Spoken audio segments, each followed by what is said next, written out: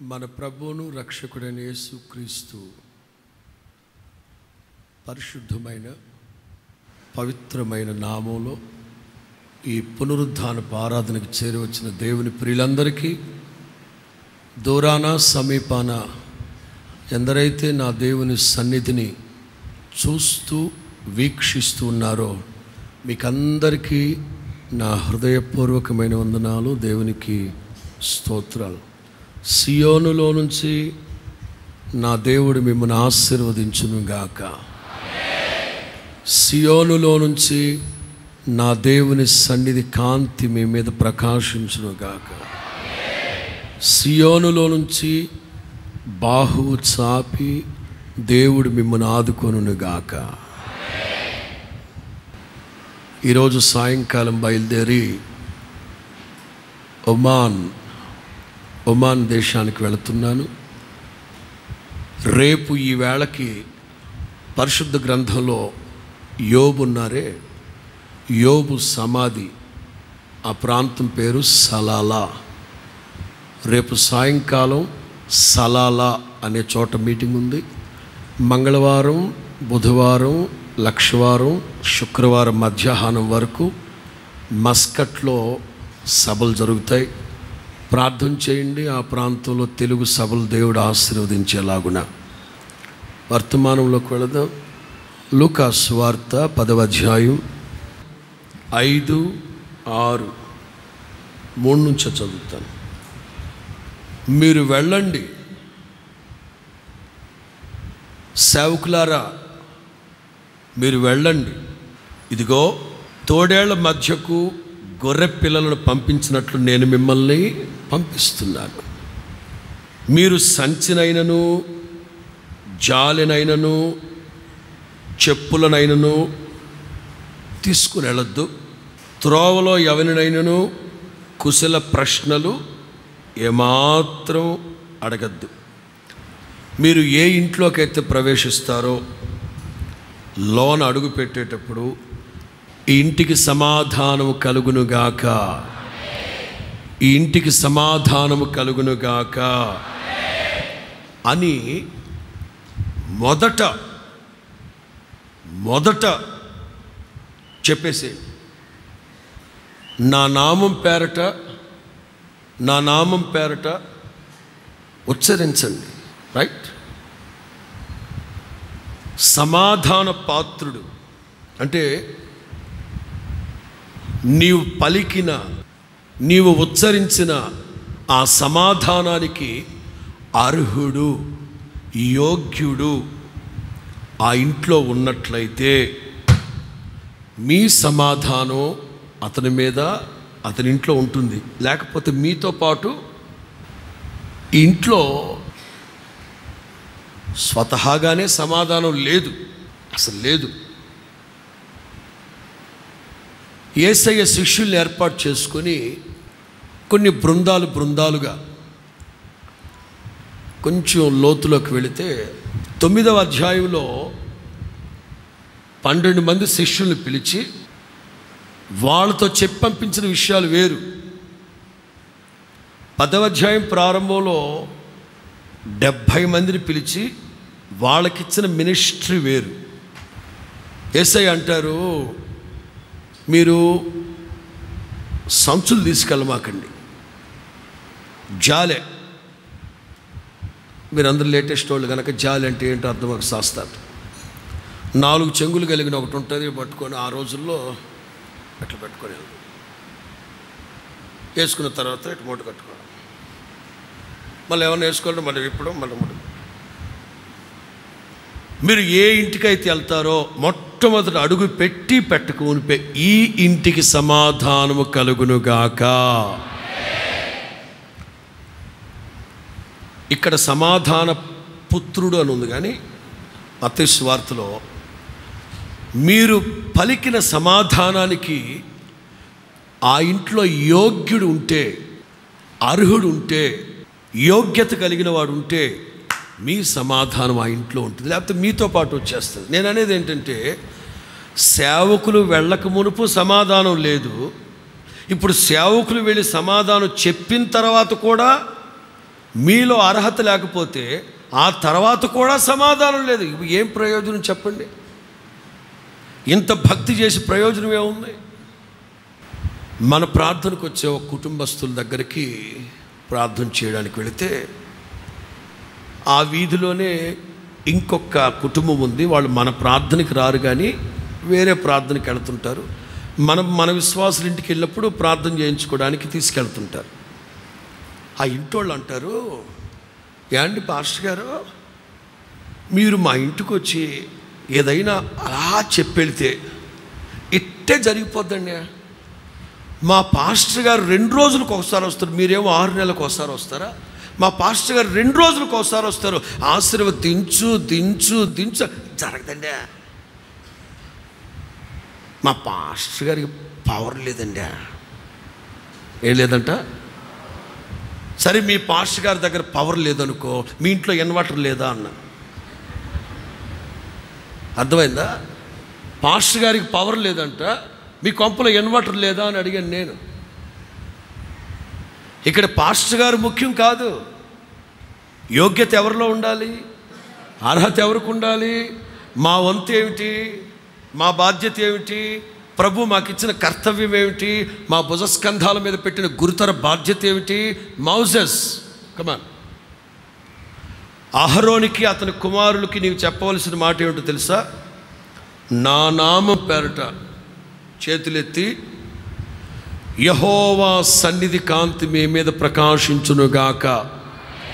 యహోవా మీకు సమాధానము కలుగు చేయునుగాక. యహోవా మిమ్మను ఆశీర్వదించును గాక. అని నా నామాన్ని ఉచ్చరించి పలకమను. నేను వాళ్ళని ఆశీర్వదిస్తాను. ప్రభు మాకిచ్చిన డ్యూటీ కర్తవ్యం. చదవండి సంఖ్యాకాండం ఆరు అధ్యాయం. Twenty six right up to twenty eight యెహోవా నీ మీద తన సన్నిధి కాంతి ఉదయింపజేసి, ఎస్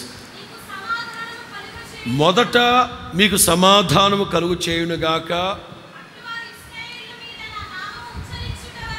నా నామాన్ని బట్టి ఉచ్చరించుట వలన చాలా సంతోషం. దేవునికి మహిమ కలుగునుగాక అందుకే మేము వేదిక ఎక్కిన వెంటనే దేవుని పేరట మిమ్మల్ని ఆశీర్వదిస్తున్నాం.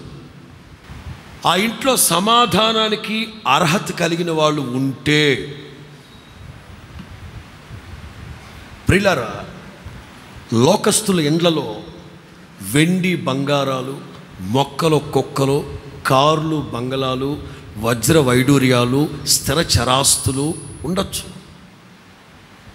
కానీ దేవుని బిడల కుటుంబాల్లో మొట్టమొదటిగా సమాధానం ఉండాలి. ఇంట్లో నలుగురు కుటుంబ సభ్యులు ఉన్నారంటే నలుగురు చక్కటి సమాధానం. ఇంట్లో ఎనమండుగురు ఉన్నారు అంటే ఐక్యత సమాధానం.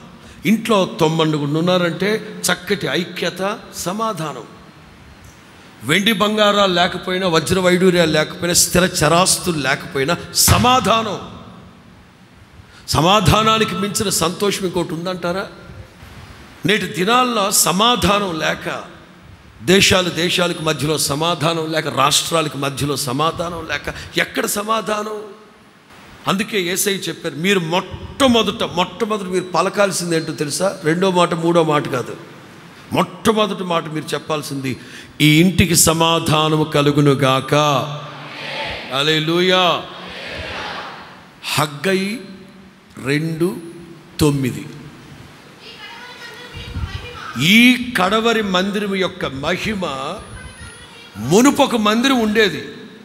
దాని మహిమ కంటే దాని సమాధానం కంటే దాని మహిమ కంటే దాని సమాధానం కంటే ఇక్కడ రెండు మందిరాలు. సొలోమోను కట్టించిన మందిరం ఒకటి ఉండేది ఆ తర్వాత అది కోల్చబడిపోయింది మరలా వేరేది కట్టారు. కట్టారు. సొలోమోను దేంతో కట్టారు? యజ్రా నెహమ్య జరుబ్బాబేలు వీళ్ళు యహోష్వాలు వీళ్ళు వచ్చి ఎలా కట్టారు? కానీ దేవుడు అంటారు మునుపటి మందిరం మహిమ కంటే ఈ మందిరాన్ని మహిమ మరింత మహిమతో. సులభమని ఎలా కట్టాడండి? పాపం దావీదికేమో ఆశ. దేవుని మందిరాన్ని కడదాం దేవుని మందిరాన్ని కడదాం. నా దేవుని మందిరానికి ఒక మంచి స్థలం చూసేంతవరకు నేను నా మంచం ఎక్కనన్నాడు. ఎంత వైరాగ్యం కలిగిన వారో దావీదు. ఎక్కడికైనా యుద్ధానికి వెళితే వాటిలో మంచి మంచి విలువైనవి విలువైనవి విలువైనవన్నీ పక్క తిని. అబ్బా వాటన్నిటితో ఒక హారం తయారు చేసుకుంటాడేమో దావిదాని అని అనుకుంటారా? తే పట్రా. అదిగో అక్కడ పెట్టండి. ఎందుకండి? దేవుని మందిరం కట్టినప్పుడు ఈ వజ్రాలు దేవుని మందిరంలో పొదుగుతాం. చేద్దాం చేద్దాం చేద్దాం అనుకునేసరికి దేవుడు అన్నారు సోలో దావీదు మీ అబ్బాయి సొలోమోన్తో కట్టించకపోయావా? సమాధాన పుత్రుడు కదా. నువ్వు ఉన్నంతకాలం రక్తపాతంతో ఉన్న నీ చేతులు ఏమంటావు? మీరు ఏదంటేదే అవసాన కాలం సమీపించినప్పుడు దావీదు సొలోమోని పిలిచిన ఆయన లోకులందరూ వెళుతున్న మార్గంలో నేను కూడా వెళ్ళిపోతున్నాను రా. అదిగో.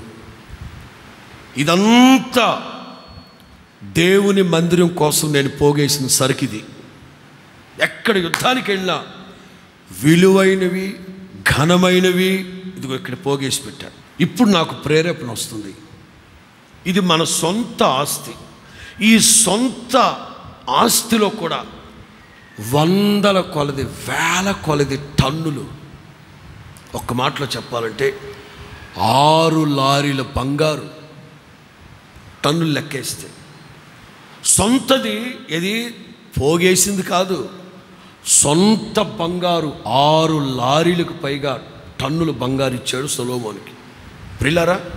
ఆవేళ సొలోమోన్ మందిరం ఎలా కట్టాడు? ఆ రోజుల్లో వెండి బంగారాలు లెక్క వాళ్ళకి? ఆ, లెక్క ఉందండి అది రోడ్ల మీద పల్లీలు వేరుశనగ పప్పులు అమ్మేట్టు అమ్ముతున్నారు బంగారు. రోడ్ల మీద ఆడ పడేస్తున్నారు అక్కడ. అది సొలోమోన్ రోజుల్లో వైభవం. ఎంత మహిమ! బాబోయ్ ఇక్కడేముంది ఆర్కెస్ట్రా కీబోర్డు డబ్లా తప్ప. సొలోమోన్ రోజుల్లో ఓన్లీ ట్రంపెట్లు వాయించే వాళ్ళే రెండు వందల ఇరవై మంది అంట ఇట్స్ ఎక్స్ట్రా వెగన్సా మామూలు ఆర్కెస్ట్రా కాదు. పాటలు పాడేవాళ్ళు ప్రక్కన ఆచ్. ఒక్క మాటలో చెప్పాలంటే దేశ దేశాల నుంచి దేశ దేశాల నుంచి. చివరికి శాబాదేశపు రాణి కూడా ఈ మహిమ కలిగిన మందిరాన్ని చూడ్డానికి వచ్చింది అది సొలోమోను మందిరం. ఆ రోజుల్లో నలుదిశలా నెమ్మది. ప్రతివాడు ప్రతివాడు నిర్భయముగా తమ తమ ద్రాక్ష చెట్ల కింద అంజూరపు చెట్ల కింద నిర్భయముగా నిశ్చింతగా నలుదిశలా నెమ్మది. ఇది పాత మందిరం రైట్? పాత మందిరం వెండి బంగారు ఆ బంగారు రేకు తాపడాలు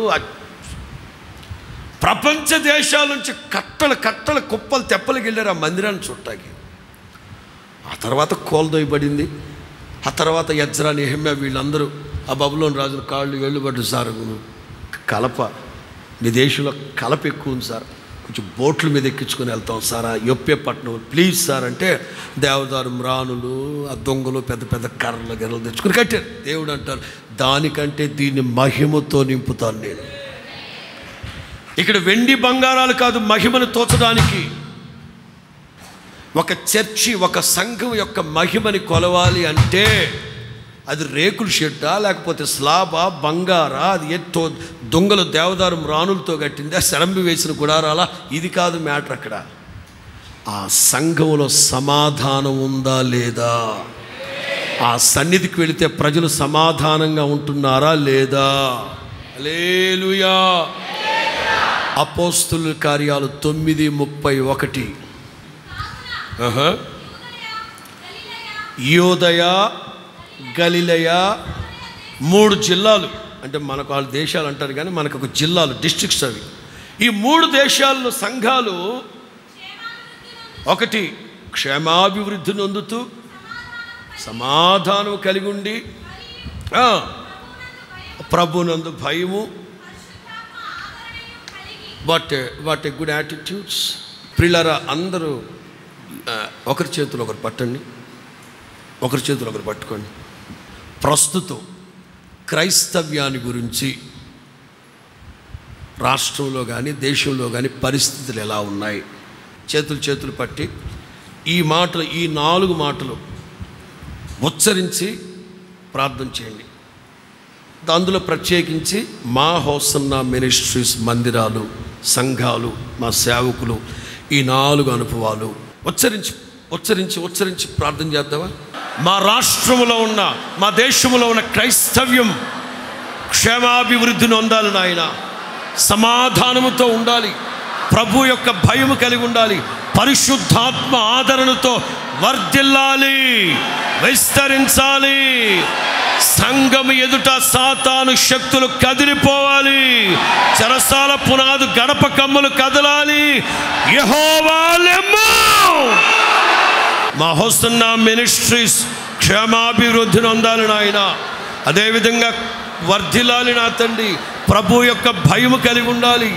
మరి ముఖ్యంగా నాయన పరిశుద్ధాత్మ ఆదరణ సంఘాల్లో క్రైస్త చెప్పాలి చెప్పాలి. ఇవే మాటలు ఉచ్చరించండి ఉచ్చరించండి ఉచ్చరించండి ఉచ్చరించండి. ఏదైతే మీరు హృదయం మందు విశ్వసించి పదే పదే పదే పదే పదే పలుకుతారో ఏసు నామంలో మీ ఆలోచన సఫలమగును గాక. మీ పెదవుల్లో నుంచే మానక ప్రభు ఆలకించును గాక. మీ పెదవుల్లో నుంచి వచ్చే పదాలు మానక నా ప్రభు ఆలకించును గాక. మీ పెదవుల్లో నుంచి వచ్చే మాటలు నా ప్రభు స్థిరపరచును స్థిరపరచునుగాక. చెప్పండి చెప్పండి చెప్పండి. మా రాష్ట్రములో మా దేశంలో ఉన్న క్రైస్తవ్యం ఇదిగో నా తండ్రి క్షేమాభివృద్ధిని పొందాలి విస్తరించాలి. మా భారతదేశాన్ని ప్రపంచానికి మొనార్కుగా నిలబెట్టండి నాయన. ప్రపంచాన్ని శాసించాలి మా భారతదేశం. ప్రపంచానికి దిక్సూచిగా వాచ్ టవర్ టార్చిగా ఉంచండి నా తండ్రి. హమారా భారత్ మహాన్ అని మేము గర్వంగా చెప్పుకోవాలి ప్రభు. మనం ఏదైతే హృదయం అందు విశ్వసించి ఉచ్చరించి ప్రార్థిస్తూ ఉన్నామో పలుకుతూ ఉన్నామో ఏసయ్య మన మాటలు అవునని ఆమెనని స్థిరపరచునుగాక. అలాగున ప్రభు స్థిరపరుస్తున్నందుకు బిగ్గరగా హలేలో చెప్పండి. ఎస్ ఆమెన్ ఆమెన్ ఏసయ్య పుట్టినప్పుడు దేవదూతలు చెప్పిన మాట ఏమిటి సర్వోన్నతమైన స్థలముల్లో దేవునికి మహిమయు.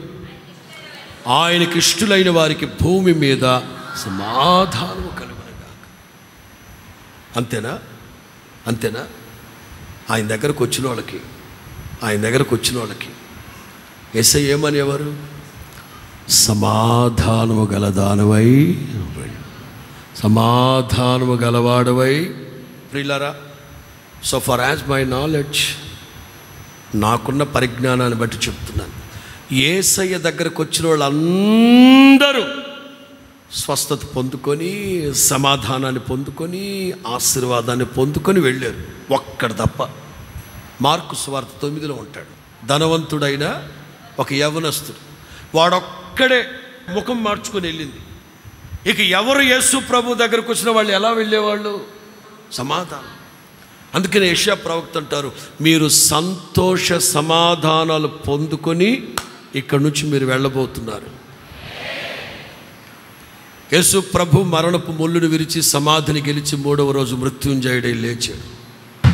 కనబడ్డ ప్రతి ఒక్కరికి ప్రభు చెప్పిన మాట మీకు శుభం కలుగునుగాక మీకు సమాధానం కలుగునుగాక మేడగదిలో అయితే ఒక్కసారి కాదు మూడు సార్లు మీకు సమాధానం కలుగునగాక మీకు సమాధానానికి మించిన వేరొక్క అనుభూతి ప్రపంచంలో ఉందా అంటే లేదనే చెప్పాలి. స్తోత్రం చెప్పండి గట్టిగా. మన దేవుడు ఎవరంటే ఇరవై తొమ్మిదవ కీర్తన పదకొండవ వాక్యం. యహోవా తన ప్రజలకు బలం అనుగ్రహిస్తారు. ఎంత ఎంత ఇంపార్టెన్స్ ఇంపార్టెంట్ కాకపోతే ఇది ఎంత ఒక మనిషి జీవితంలో ఇది ఎంత అత్యవసరమైన పరిస్థితి కాకపోతే ప్రభు ఆ మాట చెప్తారు. దేవుడు తన ప్రజలకు సమాధానాన్ని అనుగ్రహిస్తాడు. అందుకే దావీదంటారు కేవలం నాకొక్కడికే కాదు నాయనా ఈ సంతోష సమాధానాలు నేను నా పిల్లల పిల్లల పిల్లల పిల్లల పిల్లలు పొందుకొని నిత్యము నీ సన్నిధిలో అలాగు నిలిచి ఉండునుగాక చదువుతారు ఆ మాటను కూడా నాకు తెలుసు మీ యావత్ జీవితానికి మీ యావత్ కుటుంబ వ్యవస్థకి ఈరోజు చెప్పే వర్తమానం చాలనే నేను అనుకుంటున్నాను. చదువుదాం. ఏడవ అధ్యాయం ఇరవై తొమ్మిది సెకండ్ శామ్యుయల్ నేనొక్కడిని కాదయ్యా. నేను డక్కా మొక్క దెబ్బలు తిని ఎన్నో ఇరుకు ఇబ్బందుల మధ్యలో ఎన్నో శ్రమల పోరాటాల మధ్యలో ఈ స్థితికి ఎదిగాను. నీ దాసుడనైన నా కుటుంబం నేను మాత్రమే కాదు నా పిల్లల పిల్లల పిల్లల పిల్లలు నీ సన్నిధిలో ఉండినట్లుగా దాన్ని ఆశీర్వదించి స్థిరపరిచి సమాధానపరచండి. పిల్లర నా భారం ఏంటంటే నేను మూడు తరాలకు వారధనై ఉన్నాను ఇప్పుడు. నా వయసుకి నేను మూడు తరాలకు వారధనై ఉన్నాను. ఎందుకంటే ఏసన్ గారి సమకాలికలు ఒక అనుభవం అయితే నాతోటి సమకాలికలు ఒక అనుభవం అయితే నేను పెళ్ళి చేసి పిల్లలు పుట్టుంటే వీళ్ళది ఒక మూడో తరం. అంటే మూడు తరాలకి నేను మధ్యలో ఉన్నాను. నా భారం ఏంటంటే ఆ తరం వారందరూ భక్తి చేస్తున్నారు. ఆ తర్వాత వాళ్ళు ఏదో కాస్తో కోస్తో చేస్తున్నారు. వాట్ అబౌట్ థర్డ్ ఆ తర్వాత జనరేషన్ సంగతి ఏమిటి? ఈ భక్తి అనేది ఒక తరానికి చేసి ముగించుకొని వెళ్ళిపోయేదా? ఒక్క తరంలో భక్తి చేస్తే ఓ పది తరాల పాటు ఆ పెద్దోళ్ళ భక్తి వాళ్ళ వాళ్ళ దీవెని వీళ్ళ మీద నిలిచి ఉంటుందంటే. కాదు కదా. ఎవరు ఎంత విత్తుకుంటారో వాళ్ళే కోసుకోవాలి కదా. నా బాధ ఏమిటంటే దావీద్ అంటారు నేను డక్కా మొక్క దెబ్బలు తిని ఇరుకు ఇబ్బందుల మధ్యలో శ్రమల మధ్యలో నన్ను దే ఒక స్థితిలోకి తెచ్చాడు దేవుడు. ఐశ్వర్యము ఘనతని కలుగు చేశారు. నా సంతతి కూడా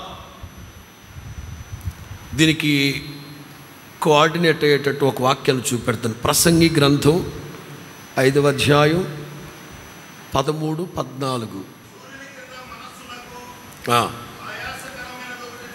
సూర్యుని క్రింద నా మనస్సునికి ఆయాసాన్ని కలిగించేది ఒకటి జరిగినప్పుడు చూసినప్పుడు నాకు మనస్సు చాలా బాధపడింది. అదేంటంటే ఆస్తి కలిగిన ఒకడు తన ఆస్తిని దాచిపెట్టుకొని మరి అంతేగా? బిగబట్టినోడికి నాశనం కాబట్టి ఇంకేమన్నా వచ్చుద్దా? సబ్జెక్టులోకి వెళ్ళిన తర్వాత చాలా విషయాలు మాట్లాడతాను. తండ్రి ఏమో శ్రీమంతుడు. కొడుకేమో బెచ్చగాడు బెకారోడు పిల్లరా జరిగిన సంగతి చెప్పనా? నెల్లూరులో ఆరో క్లాస్ నుంచి టెన్త్ క్లాస్ వరకు సెయింట్ పీటర్స్ హై స్కూల్లో చదువుకున్నాం. నాకు ఫ్రెండ్ ఉండేవాడు. వాళ్ళకి సొంత రైస్ మిల్ ఉంది. ఆ రోజుల్లో ఐదు సిటీ బస్సులు ఉండేవి. వాళ్ళ రైస్ మిల్ ప్రక్కనే వేరొక రైస్ మిల్లో ఫ్రెడ్ అని వాళ్ళ నాన్న అంటే మా బాబాయ్ మా చిన్నాన్న వర్క్ చేసేవాడు. సిక్స్త్ నుంచి టెన్త్ వరకు వాడు మా ఫ్రెండు. కొంచెం కళ్ళు వాడికి చెత్తవారు. వాడికి చెత్తవారు. ఈ షోడా బుడ్డి కళ్ళజోడు పెట్టుకున్నాడు. బట్ మహాజ్ఞాని. మై గాడ్ మహాజ్ఞాని. టెన్త్ వరకు చదువుకున్నాడు. అతను ఇంటర్మీడియట్ తర్వాత మేము వేరే కాలేజ్ వెళ్ళిపోయి వాడు వెళ్ళిపోయాడు. ఆ తర్వాత నేను తొంభైవ సంవత్సరం ప్రభు సేవకు వచ్చేసాను. ఐ థింక్ రెండు వేల సంవత్సరం అండి. నర్సపూర్ మహాసభల్లో నర్సపూర్ వెస్ట్ గోదావరి. ఏసన్న గారు నేను ప్రసంగికులు అక్కడ. మొదటి రోజు నేను ప్రసంగికుని అన్నలేరు. సో నా సాక్ష్యం చెప్తున్నాను. మాది నెల్లూరు మా నెల్లూరులో నేను ఇలా చదువుకున్నాను అలా చదువుకున్నాను. నా పేరు జాన్ వెస్లీ అని నా సాక్ష్యం చెప్తున్నాను. ప్రేయర్ అయిపోయిన తర్వాత రెండో రోజున మేము స్టేషన్ పేటలో కీర్తిశేషులు డేవిడ్ రాజు గారు ఇంట్లో ఉన్నాం. వై డేవిడ్ రాజు గారు వాళ్ళ ఇంట్లో ఉన్నాం. వాళ్ళ అబ్బాయి జాన్ కుమార్ వచ్చి అన్న మిమ్మల్ని కలవటానికి ఎవరో ఒక అతను వచ్చాడన్న. ఎవరంటే ఎవరో అడుక్కు తినేవాడన్నా. అడుక్కు తినేవాడు నన్ను కలవడం ఏంట్రా? అన్న మీ నెల్లూరేనంటాను అన్నాడు. ఉంటుంది కదా ప్రాంతీయ అభిమానం. అమ్మా నెల్లూరు నుంచి అడుక్కు తింటాకు రమ్మనైతే. అది వాడిని గుర్తుపట్టా ఎందుకంటే వాడికి అప్పట్లోనే చెత్తారు ఉండేది. ఇప్పుడు కొంచెం అసలు కళ్ళు బాగా డ్యామేజ్ అయిపోయినట్టు. నేను వెంటనే గుర్తుపట్టాను. అరే ఏంట్రా అంటే అరే నేను రా. ఏం చేస్తున్నావు అంటే అంటే ఇక వాడిని అడిగే పని లేదండి. వాడి బట్టలు ఏంట్రా? మీకు రైస్ మిల్ ఉంది. ఐదు సిటీ బస్ ఆ రోజుల్లో ఏమైందిరా?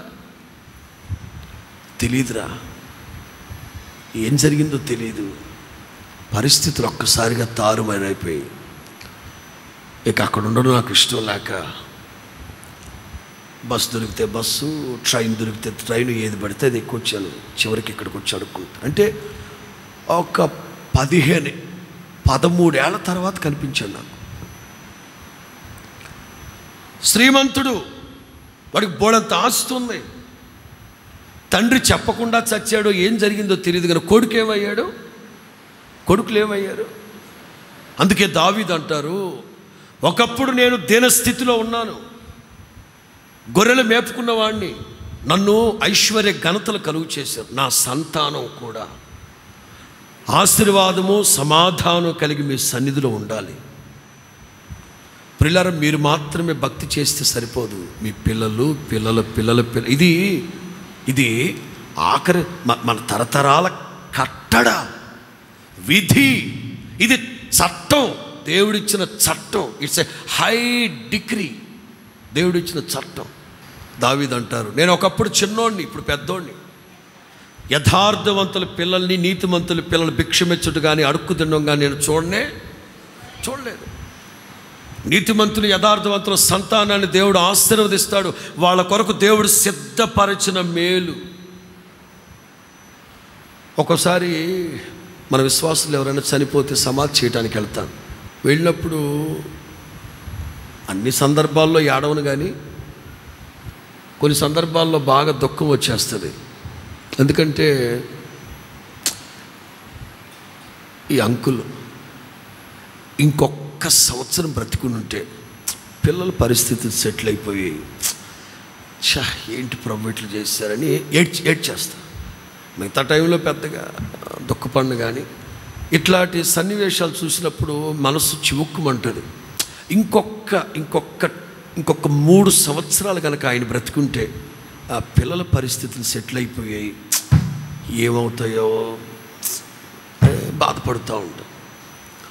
తర్వాత వాళ్ళ జీవితాలు ఆశ్చర్య రీతిలో స్థిరపడడం చూస్తే అప్ప ప్రభా నీ కార్యాలు నీ కార్యములను వివరింపతరమా? నీ ఘన కార్యములు తరేనా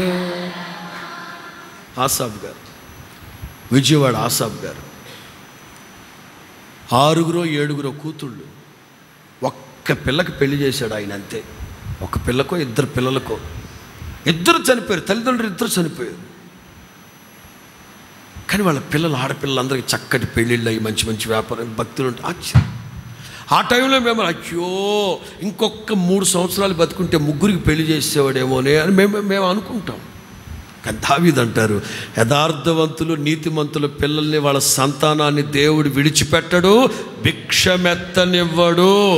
హాలే లూయా హాలే లూయా హాలే వర్తమానంలోకి వెళ్తున్నా నేను ఇప్పుడు చెప్పే ఐదు కుటుంబాలు ఎంత భక్తి కలిగిన కుటుంబాలు కానీ చెడిపోవడానికి చెదిరిపోవడానికి నాశనం అయిపోవడానికి జగడాలు కలవరాల మధ్యలోకి వెళ్ళిపోవడానికి కారణం ఏమిటి? దృఢమైన భక్తి చేసిన వాళ్ళే. ఎందుకు చెడిపోయారు చెదిరిపోయారు వాళ్ళు. చాలా హెచ్చరికతో కూడిన మాటలు. దైవాశక్తితో మాట్లాడుతున్నాను ఒకవేళ. మీ మనస్సులు నొప్పించిన వాడినైతే మీ రక్తాపరాధం నా మీద నా రక్తాపరాధం మీ మీద ఉండకుండును గాక. నాకున్న ఇంటెన్షన్ ఒకటే మీరు మీ కుటుంబాలు సమాధానంగా ఉండాలి సంతోషంగా ఉండాలి. దేవునికి స్తోత్రం. యష్యా గ్రంథం ముప్పై రెండు పదిహేడు. నీతి సమాధానమును కలుగు చేస్తుంది. నీతి వలన నిత్యము నిమ్మలం అంటే సమాధానం. అప్పుడు నా జనులు విశ్రమ స్థలముల యందు ఆశ్రయ స్థానముల యందు అక్కడేమని ఉండాలంటే నా జనులు విశ్రమ స్థలముల యందు ఆశ్రయ స్థానముల యందు సమాధానకరమైన స్థిరమైన నివాసములు సమాధానకరమైన స్థిరమైన నివాసముల యందు నివసిస్తారు. Intention of God or the passion of Christ is this ఓ ప్రక్కన దేవుడు కోరుకున్నా ఓ ప్రక్కన ఏసయ్య కోరుకున్నా ఓ ప్రక్కన సేవకులుగా మేము కోరుకునేది ఏమిటంటే మీరు మీ కుటుంబాలు సమాధానంగా అది తాత్కాలికంగా కాదు నిత్యము సమాధానము నిబ్బరము నిమ్మళము కలిగి మీరు మీరు మీ కుటుంబాలు ఉండాలి. మొదటి కుటుంబం. ఆది కాండం తొమ్మిది ఇరవై ఒకటి. తాగుబోతోడై వ్యవహారికంగా మాట్లాడుకుందాం. ద్రాక్షారసం తాగి కొంచెం ఆయన డిజిగ్నేషన్ చూద్దామా? ఆరవ అధ్యాయం ఎనిమిది తొమ్మిది.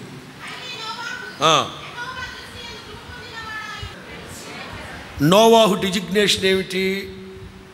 ఒకటి కృప పొందుకున్నవాడు. రెండు నీతిమంతుడు. మూడు నిందారహితుడు. నాలుగు దేవునితో ఆ తరము వారందరిలో మిలీనియం మహానుభావుడు. దేవుడు ఆకాశము నుంచి తొంగి చూస్తే నరులందరూ చెడిపోయి ఉన్నారు పడిపోయి ఉన్నారు పతనమైపోయి ఉన్నారు ఓహల ఓటలన్నీ చెడిపోయి ఉన్నాయి. భయంకరమైన దుర్భరమైన బ్రతుకు బతుకుతున్నారు వరసవాయు లేకుండా ప్రవర్తిస్తున్నారు. అట్ దట్ టైం దేవుని దృష్టికి కలి కనిపించిన ఒకే ఒక వ్యక్తి ఒకే ఒక వ్యక్తి ఒకే ఒక వ్యక్తి నోవా. ఎంత భక్తి కలిగినోడండి. ఇప్పుడు నేను ఏ నీతిమంతుడే బాబా ఆయన. ఏం మాట్లాడుతున్నావమ్మా మనం? ఇదో హనుమాన్ జంక్షన్ ముసలమ్మ. ఏం మాట్లాడుతున్నా? ఆవిడ ఏమనుకున్నా? మంచిది నీతిమంతురాలు. నేను అనొచ్చు నా దృష్టికి. కానీ ఇక్కడ సర్టిఫై చేసింది ఎవరు? సాక్షాత్తు అందరిని ఎరిగినవాడు ఆంతర్యములు ఎరిగిన దేవుడే చెప్తున్నాడు. నోవాహు నీతిమంతుడు నోవాహు నిందారహితుడు నోవాహు నా కృపని పొందుకున్నవాడు ఒక్క మాటలో చెప్పాలంటే నాతో నడిచేవాడు. ఇది బిఫోర్ ఫ్లడ్ జలప్రళయానికి మునుపు. జలప్రళయానికి మునుపు క్యారెక్టర్స్ చెప్పనా? నోవాహు భార్య. అసలు అయ్యగారి మాట అంటే తల కూడా పైకెత్తదు. మంచిది. కొడుకులు అంటారా ఆ బంగారు అండి బాబా. వాళ్ళకి అప్పటికే పెళ్ళిళ్ళు అయి ఉన్నాయి. రే పెద్దోడా? ఒరే నడిపోడా? ఒరే ఆకురోడా? ఓడెక్కండిరా. నానా ఒక మాట నా భార్య ఇట్లాంటివి ఏం లేవు అయ్యగారి మాట ఆ ఇంట్లో వేదవా? సరే ఇది వదిలిపెట్టండి. తొమ్మిదో అధ్యాయం ఒకటో వాక్యానికి రండి. మౌ. హలో. నేను కాదు ఆశీర్వదించింది. ఎవరు? అది మ్యాటర్ అది. ప్రేమక్క కాదు ఆశీర్వదించింది. అబ్రామ్ పాస్టర్ కాదు ఆశీర్వదించింది. ఎవరు? ఎవరు? దేవుడే ఆశీర్వదించారు. ఏమని? మీరు ఫలించండి అభివృద్ధి చెందండి విస్తరించండి భూమిని నింపండి ఈ సమస్తాన్ని ఏలుబడి చేయండి. మిమ్మల్ని గురించిన బెదురు భయాన్ని సమస్త జీవకోటికి. They have they have supernatural power ఆ రోజున నోవాహుతో దేవుడు చెప్పబట్టే ఈ రోజున ఏనుగు మీరు ఆడిచ్చిన ఆట ఆడుతుంది. ఆ రోజు దేవుడు చెప్పాడు నేను మీ మిమ్మల్ని గురించిన భయాన్ని బెదురుని it's a supernatural favour ఇది వైభవం అంటే. సాక్షాత్తు దేవుడే ఒక ప్రవక్త కాదు పాస్టర్ కాదు ఆ కుటుంబాన్ని ఆశీర్వదించింది. డైరెక్ట్ బ్లెస్సింగ్స్ ఫ్రమ్ గాడ్ ఇప్పుడు అయ్యగారికి వ్యాపారం విస్తరించింది. ద్రాక్ష తోటలు వ్యవసాయం చేయడం ప్రారంభించారు. మీన్స్ బిజినెస్ బిజినెస్ దేవుడు బాగా ఆశ్రదించాడు ద్రాక్ష తోటలు బాగా పండే. చేతి నిండా డబ్బు ఒంటి నిండా ఆరోగ్యం. నిన్నటి వరకు దేవునితో నడిచిన వ్యక్తి ఇప్పుడు బ్రాంతి కోట్లో ఉన్నాడు. బాటిల్స్ తెచ్చుకున్నాడు. నాకు అనిపించింది ఇంత పెద్ద ఎస్టాబ్లిష్ సంఘానికి ఈ బ్రాందీల సంగతి తాగుబోతుల సంగతి అవసరమా ప్రభు అంటే చెప్పరా. ఒకవేళ ఇక్కడ లేకపోయిన దూరాన సమీపాన ఎందరూ చూస్తున్నారు ఈ నా దేవుని మాటలు. బ్రదర్ ఒకప్పుడు నీ భక్తి ఏమిటి? ఇప్పుడు నీ పరిస్థితి ఏమిటి? యేసు ప్రభు చెప్పకనే చెప్పలేదా? యజమాని దేశాంతరం వెళ్ళిపోయి కొంచెం ఆలస్యం అయ్యాడట. పనివాడు ఏం చేస్తున్నాడు? తాగడం మొదలుపెట్టాడట. భార్యని కొడుతున్నాడట. పని వాళ్ళని వంగబెట్టి గుద్దుతున్నాడట. భయంకరమైన వయలెన్స్ రౌడీగా తయారైపోయాడట. ప్రభు రాకడ ఆలస్యం అయ్యేసరికి నేనంటాను జలప్రలయానికి మునుపు నోవాకు త్రాగుబోతాను అలవాటు ఉందా నేను అనేది ఏంటంటే రక్షింపబడక మునుపు కూడా రక్షింపబడక మునుపు కూడా ఈ అలవాటు లేదు నోవాహుకి. ఎక్కడ నేర్చుకున్నావు ఈ అలవాటు? రక్షింపబడక మునుపు కూడా లోకస్తుడుగా ఉన్నప్పుడు కూడా ఈ అలవాటు లేదు కదా. ఏమ్మా ఎక్కడ నేర్చుకున్నావు ఈ అలవాటు? నోవాహు భార్య ఇంట్లో లేదు. భర్త తాగిపోయి వాంతులు చేసుకుంటే తెలియదు ఆ మాత్రం తాగుబోతాడు ఒత్తికే పడుకుంటాడా? ఒత్తికే పడుకుంటాడండి? భయంకరమైన మాటలు మాట్లాడుతుంటాడు వాయ వరుసలు లేకుండా మాట్లాడుతుంటాడు. ఈవిడ అక్కడ ఉండాలి కదా ఇంట్లో. జలప్రయాణికి మునుపున్న భక్తి ఇప్పుడు ఏమైందమ్మా? ఎలా ఉన్నాయి కుటుంబాలు? సేవకులుగా మాపాడు నేను నేను మీ మీద క్రీస్తు యేసు ఎదుట ఆనబెట్టి చెప్తున్నాను. మా వంతు దేవుడు మాకు ఇచ్చిన బాధ్యత మీకోసం కన్నీరు కార్చి మీ కుటుంబాలు సమాధానంగా ఉండాలనే కోరుకుంటున్నాం. మీరు మీ పిల్లలు తరతరాలు. ఒకవేళ మేము ఉన్నా లేకపోయినా ఏసన్న గారు ఉన్నారా? లేరు. తర్వాత మేము కూడా మా మా టైం అయిపోతే మేము వెళ్ళిపోతాం. మేము వెళ్ళిపోతాం మీరు వెళ్ళిపోతారు. మరి మీ పిల్లలు? మా తర్వాత మా జనరేషన్ ఉంటారు కదా సేవకులు. ఇది మీకు మాకు దేవుడిచ్చిన అనుబంధం కాదా ఇది? సాక్షాత్తు దేవునితో నడిచిన వ్యక్తి సాక్షాత్తు దేవుడే ఆశీర్వదించి ఇందుకా దేవుడు నిన్ను ఆశీర్వదించింది? ఇందుకా నీ వ్యాపారాలు దేవుడు ఆశీర్వదించింది? ఇందుకా దేవుడు నీకు చేతి నిన్న డబ్బు ఇచ్చింది ఇందుకా దేవుడు నీది పట్టుకున్నదంతా బంగారు అయ్యేటట్లుగా చేసింది? భయంకరమైన పరిస్థితి. చదవండి ద్వితీయోపదేశకాండం ఇరవై తొమ్మిది పంతొమ్మిది. అలాంటి పనులు చేసేవాడు వినండి. దూరాన సమీపాన ఎందరైతే నా దేవుని మాటలు వింటున్నారో ఒకవేళ నా మాటలు మీకు శాపవాక్యాలుగా ఉండొచ్చు. ఏమిట్రా రాక రాకొచ్చి మమ్మల్ని శపించడానికే వచ్చాడని మీరు అనుకోవచ్చు. చెప్తున్నాను కదా దైవాసక్తి గలవాడినై కొంచెం అవివేకంగా మాట్లాడిన క్రీస్తు సరళతలో మీరు మీ కుటుంబాలు నిలబడాలన్న ఉద్దేశంతోనే మాట్లా అంతకు మించిన వేరే అభిప్రాయం నా మనసులో ఉంటే నేను నా సేవకుని కాకపోదును గాక. ఇలాంటి పనులు చేసేవాళ్ళు ఈ శాపవాక్యాలు వినినప్పుడు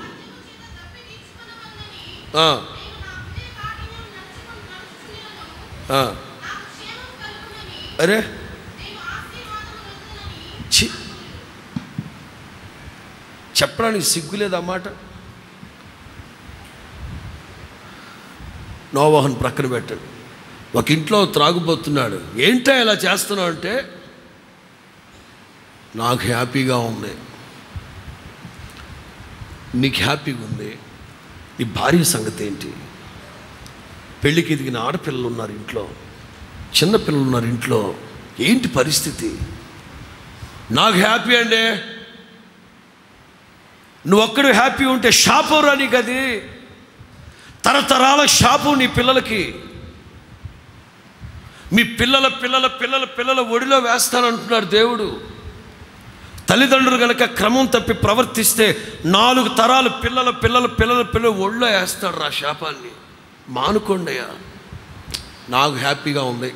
నేను తప్పికి తీర్చుకుంటున్నా అంతే. మీరు కోకో కోలా తాగుతున్నారు నేను? ఏంటండి ఇది? ఆ మధ్య మ్యాగజైన్స్ సండే మ్యాగజైన్స్లో ఈ ఈనాడు సాక్షి మ్యాగజైన్లో ఒక ఆర్టికల్ వచ్చేది. ఒక కాలం. ఏంట కాలం అంటే మీరెవరికైనా మీ జీవితంలో థ్యాంక్స్ చెప్పాలనుకుంటే దేని గురించి చెప్పాలనుకుంటున్నారు? మీరెవరికైనా క్షమాపణ చెప్పాలంటే దేనికోసం చెప్పాలనుకుంటున్నారని ఒక ఆర్టికల్ ఒక కాలం ఉండేది మీకు ఎంతమందికి తెలుసు అది. దాంట్లో చదివిన ఒక మాటని నేను మీకు తెలియపరుస్తాను. ఒక అతను రాస్తూ అంటాడు పలానా ఊళ్ళో పలానా అబ్బాయికి అప్పట్లో వాడి వయసు పది సంవత్సరాలు. ఇప్పుడు వాడికి ముప్పై సంవత్సరాలు వచ్చి ఉంటాయనుకుంటాను ఈ పత్రికా ముఖంగా నేను అబ్బాయికి చిన్నోడే కానీ చేతులెత్తి కాదు కానీ వాడి కా వాడి కాళ్ళకి దండం పెట్టి కృతజ్ఞత చెప్తున్నాను అని రాశాడు.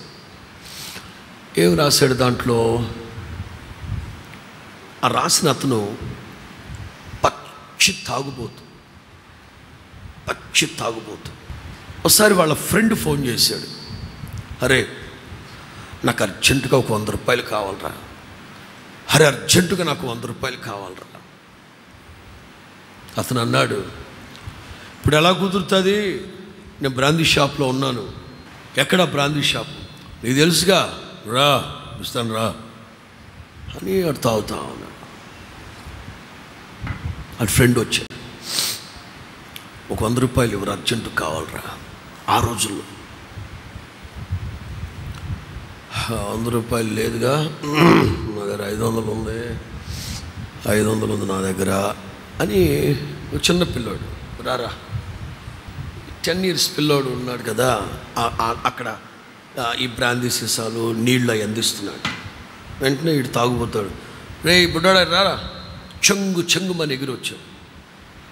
ఈ ఐదు వందల రూపాయలకి చిల్లర తీసుకురాపు అంటే వీడు అలా వెళ్ళి వచ్చాడు రా.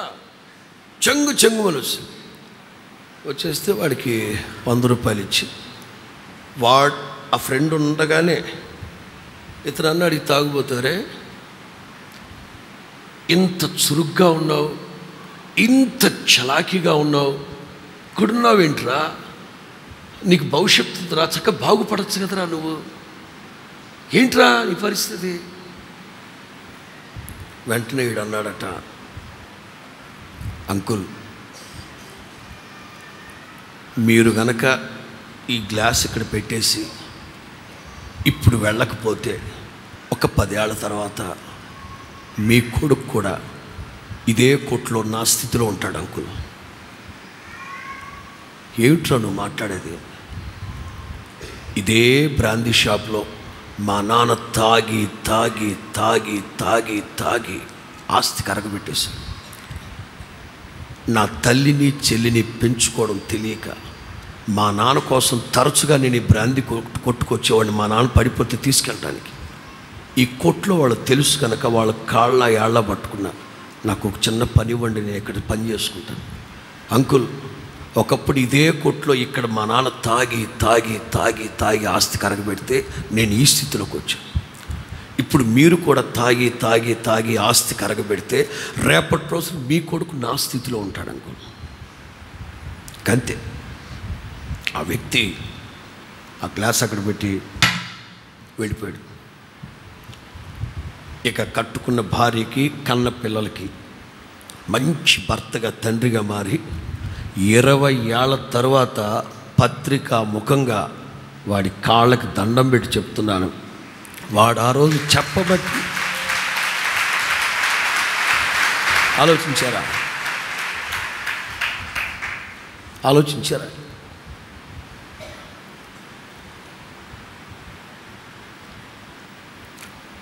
నోవాహు దగ్గరికి వెళ్దాం. తాగి పడిపోయి కన్న కొడుకుని కన్న కొడుకుని భయంకరమైన శాపాలు. ఎవరు? ఎవరు? నేను ఇక్కడ రాసుకున్న మాట. నోవాహు నువ్వెవరివి? నువ్వెవరివి? దేవుని ద్వారా ఆశీర్వదించబడ్డవాడివి నువ్వు. నీ నోట్లో శాపాలు రావచ్చా? అది నీ కన్న కొడుకుని. చేతపడి చేసేవాడో మంత్రాలు చేసేవాడో కాదు చెప్పించింది కొడుకుని కన్న తండ్రి. ఆలోచిస్తున్నారా? నేననేది ఏంటంటే మనకు వెండి బంగారాలు వజ్ర వైడూరు ఎలక్కర్లేదు. మీరు మీ కుటుంబాలు మీరు మీ కుటుంబాలు. గంజి తాగైనా సరే సమాధానంతో సంతోషంగా ఉండాలి మీరు. హల్లెలూయా. ఇప్పుడు కన్న చేసిందే తప్పు. చేసి తాగుబోతనం అలవాటు చేసుకోవడమే తప్పు. ఆ కోపంలో ఏం మాట్లాడుతున్నాడు తెలియక అందుకు కదా?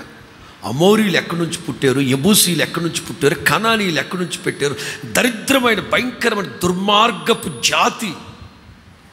దుర్మార్గపు జాతి. ఎక్కడి నుంచి పుట్టిందో తెలుసా? కన్న తండ్రి కొడుకుని శపించాడు కనుక శపించచ్చా కొడుకుని? చిన్నపిల్లలు కనుక వాళ్ళని పిచ్చి వాగుళ్ళు వాగుతాడు. తండ్రివి నీకు ఆ మాత్రం కామన్ సెన్స్ లేదా? నువ్వెవరివి? నువ్వెవరివి? దేవునితో నడిచిన వ్యక్తివి కాదా? దేవుని దృష్టిలో నిందారహితుడు కాదా ఒకప్పుడు? దేవుని కృప పొందుకున్న వ్యక్తివు కాదా నువ్వు? నీ ప్రవర్తన నీ ప్రవర్తన. నీ ప్రవర్తనే మీ పిల్లలు ఒళ్ళు వేస్తాడు దేవుడు. ఒకసారి చిన్నపిల్లలో పెద్ద పిల్లలో మనకు చెప్తారు కొన్ని విషయాలు. వెంటనే మనం దాన్ని సరిదిద్దుకోకపోతే పరిణామాలు చాలా దారుణంగా ఉంటాయి. చాలా దారుణంగా ఉంటాయి. కన్న కొడుకులు చెప్పి ఒక మాట ఎందుకు తాగుతున్నావా? అంటే నాకు క్షేమంగా ఉంది. ఎందుకు చూస్తున్నావురా? నాకు క్షేమంగా ఉంది. ఎందుకు ఇలా చేస్తున్నావు? నేను బాగున్నాను. నోవాహు కుటుంబం భయభక్తులు కుటుంబం భయభక్తులు కలిగిన కుటుంబం కాదా? ఆ ఇంట్లో ఉన్న యనమండుగురు రక్షించబడ్డ వాళ్ళు కాదా? ఆ ఇంట్లో ఉన్న యనమండుగురు బాప్తిసం పొందిన వాళ్ళు కాదా? అవును. అన్నీ బాగానే ఉన్నాయి. ఎవడో మంత్రగాడు చేతపడి చేశాడు లేకపోతే ఇంకోటి ఏదో శాపాలు పెట్టాడంటే అది కన్న తండ్రి కొడుకుని శాపాలు పెట్టేశాడండి. జాగ్రత్త. పంటి బిగువును బిగబట్టాలి తల్లిదండ్రులు పిల్లల్ని శపించకూడదు పొరపాటున.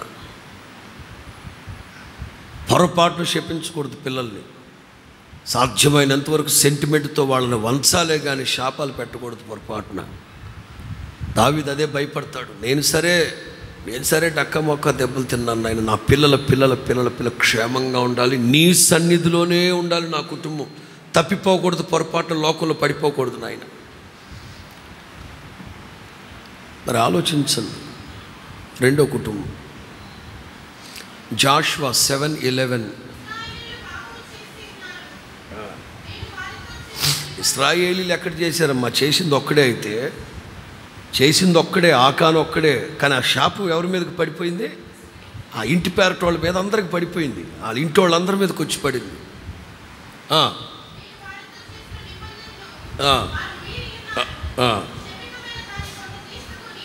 శపించబడ్డ దానికి ఎంత? టన్నుల కొద్దీ కాదు. టన్నుల కొద్దీ కాదు. బీరువాలు బీరువాలు కాదు. కొంచెం దాచి. ఆకాను కుటుంబం మీద అంతటికి ఈ షాప్ వచ్చి పడింది రాళ్ళతో కొట్టి చంపేశారు. ఆకాన్ చేతగానోడు కాదు.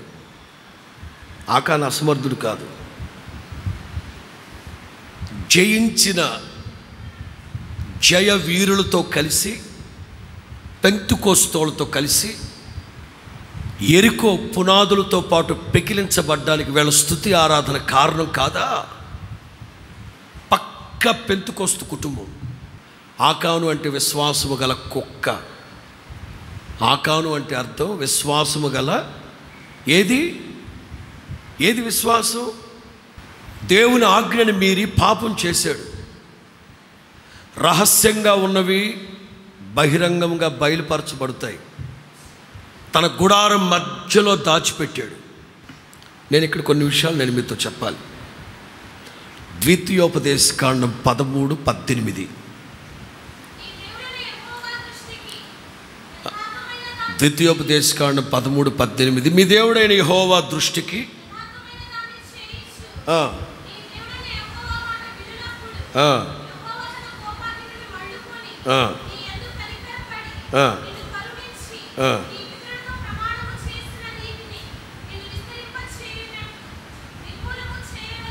దేవుడు మనల్ని విస్తరింప చేయాలి మన చేతి పనులను ఆశీర్వదించాలి మనకు కలిగిన సమస్తాన్ని దేవుడు వృద్ధి చెందించాలి అంటే శపించబడిన దాంట్లో కొంచెము కూడా శపించబడిన దాంట్లో కొంచెము కూడా మీ దగ్గర టన్నులు టన్నులు అక్కర్లేదు. కొంచెము కొంచెము కొంచెము కొంచెము బుద్ధిహీనత జ్ఞానాన్ని తేలగొట్టేస్తుంది. ఆకాను ఒకప్పుడు ఇంక- ఇంకా చెప్పనా? తల్ల పైకి ఎత్తండి ఐ థింక్ uh, ముప్పై తొమ్మిది సంవత్సరాలు వాళ్ళకి అపజయమంటే ఏమిటో తెలీదు. వాళ్ళ ముందు ఎర్ర సముద్రం రెండు పాయలుగా మార్చబడింది. వాళ్ళ ముందు బండలు పగలగొట్టబడ్డాయి నీళ్ళు వచ్చాయి. వాళ్ళ అద్భుతాలు ఎన్ని పూరేళ్ళు ప్రక్కన మన్నా ఓ ప్రక్కన ఏ రాజులు వాళ్ళ ఎదుట నిలబడ్డారు చెప్పండి. అపజయమంటే ఎరగని ప్రజలు. నేను అంటాను జయించిన జయవీరులతో కలిసి వస్తూ ఉన్న ఒక కుటుంబం ఇప్పుడు రాళ్ళతో కొట్టి చంపబడింది. చెడిపోయింది చెదిరిపోయింది. ఆఖరికి తుడిపెట్టబడిపోయింది వాళ్ళ బతుకు. కారణం ఏంటి? శపించబడిన దాంట్లో కొంచెం కొంచెం కొంచెం. నేను ఇక్కడ మాట్లాడాలనుకున్నది యవనస్తులారా జాగ్రత్త. శాంసన్ తప్పు చేశాడు. తల్లిదండ్రుల దగ్గర దాచిపెట్టాడు. దాచిపెట్టాడు. నేను ఇక్కడ రాసుకున్న మాటలే కొన్ని మీకు చెప్తాను. మన ప్రార్థనకు వచ్చే ఒక కుటుంబం అర్జెంట్ అర్జెంటుగా ఫోన్ చేస్తే తెల్లవారుసామున హుటా హుటిన ఇద్దరు బ్రదర్స్ని తీసుకుని బయలుదేరి వెళ్ళాను వెళితే ఆ తల్లిదండ్రులు ఆ ఇంట్లో ఉన్న ఆడపిల్లలు అందరూ ఏడుపు. ఏంటి మీ ఏడుపు కారణం అంటే ఇదిగో వీడు. ఏంటి వాడు? అన్నీ సర్దేసుకొని ఉన్నాడు. ఎవరో ఒక అమ్మాయిని లైన్లో పెట్టుకున్నాడు రెండు సంవత్సరాలుగా. ఈరోజు జీతం వస్తే ఈరోజు జీతం వస్తే నా జీతాన్ని దొబ్బేసి ఆ అమ్మాయితో వెళ్ళిపోవాలని ప్లాన్లో ఉన్నా. దేవుడు దేవుడు నిన్నే నాకు విషయాలని తెలిసే పాస్టర్ గారు వీడి పరిస్థితి మాట్లాడండి మాట్లాడన్నాడు ప్రిలారా ఉదయం కూర్చున్నాను వాడితో మాట్లాడు. ఉదయం కూర్చున్నాను. రాత్రి తొమ్మిది పది. పదమూడు పద్నాలుగు గంటలు. పదమూడు పద్నాలుగు గంటలు. తల్లిదండ్రులు కంటికి మంటికి తారక ఏడుస్తున్నారు. కన్నీరు ఏరులై పారుతుంది. నేను మాట రే ఏమిట్రా? నాకు సేఫ్ నా క్ష ఏంట్రా క్షేమం? పాస్ గారు మీరు టైం వేస్ట్ చేసుకోమాకండి దయచేసి మీరు వెళ్ళిపోండి. నిజమే నిజమే. ఈ రెండు గంటల ప్రసంగానికి అండి? ఈ రెండు గంటల ప్రసంగానికి లక్షల కుటుంబాలు దీవించబడుతున్నాయి జీవితాలు సరిదిద్దుకుంటున్నారు. అవునా కాదా? వాడిని ఏమనాలో బూతులు అయితే రావట్లేదు కానీ పదిహేను గంటలు ఎంత చెప్ వాడు అంటాడు మీకు టైం వేస్ట్ చేసుకోమాకండి భాష గారు. దయచేసి మీరు వెళ్ళండి. నాకు అమ్మాయి తప్ప నాకు వేరే ప్రపంచం లేదు ఇక. అమ్మాయి లేకపోతే నేను బతకలేను. మీరు నన్ను ఆపితే రేపటి రోజున నా శవాన్ని చూస్తారు మీరు. ఇంట్లోంచి శవమే బయటికి వెళ్ళాలి. ఏంటేంటో మాట్లాడుతున్నాడు.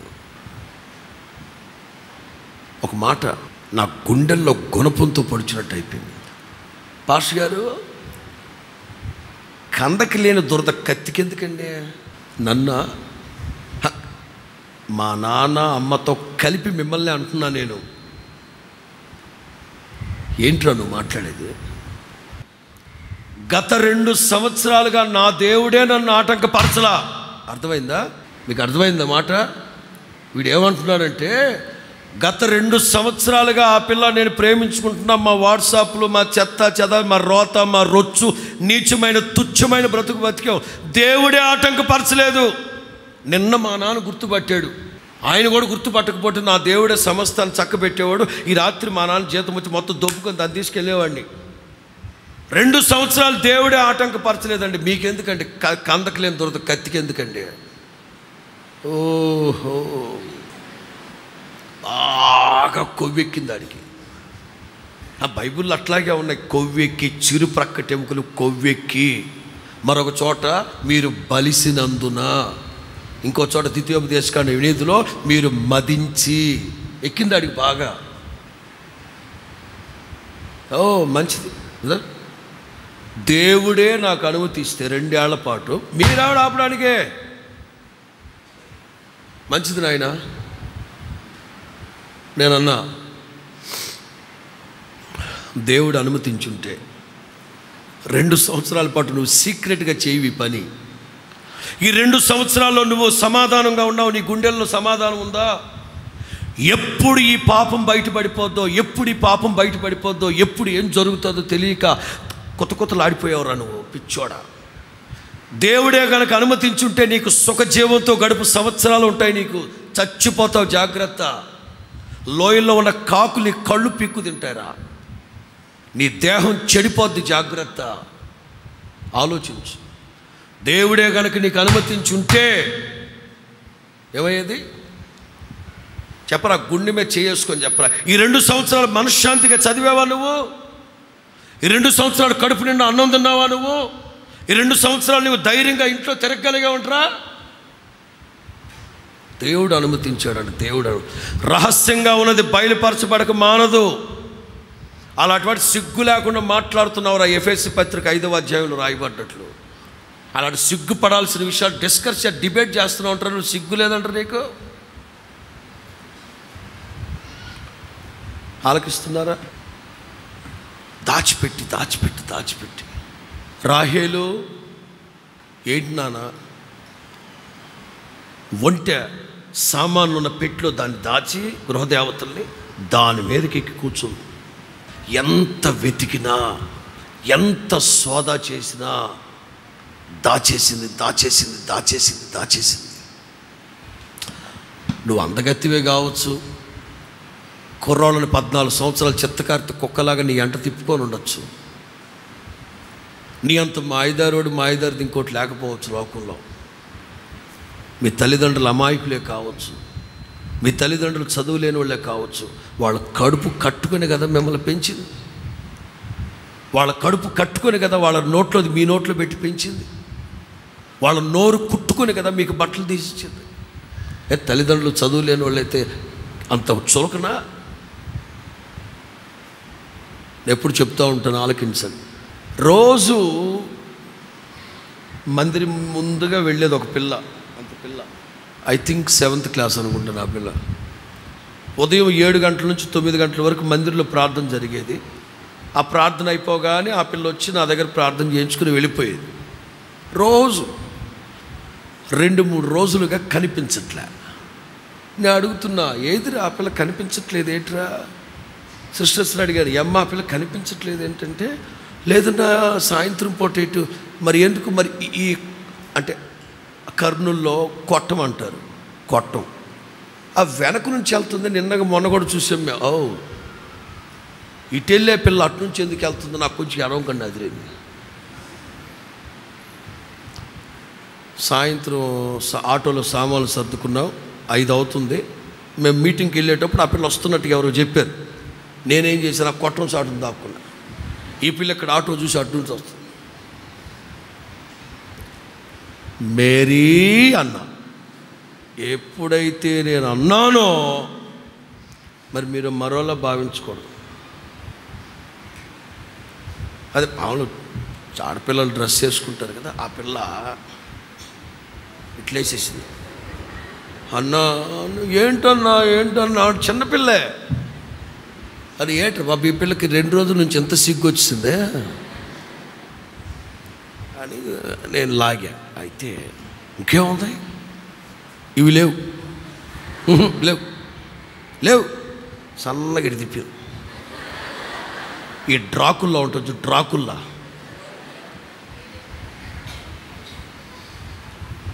ఏంటమ్మాయి అన్న? ఏమి ఏం లేదన్నా. డబ్బులు ఎక్కడివి? డబ్బులు ఎక్కడివి? ఆ అమ్మకి అబద్ధం చెప్పి తీసుకున్నాను. ఏమని అబద్ధం చెప్పావు? ఎగ్జామ్ ఫీజు కట్టాలి. అసలు ఎగ్జామ్సే లేవు. నేను అబద్ధం చెప్పట్లే. నేను అబద్ధం చెప్పట్లే. తల్లి ఏం చేస్తుంది?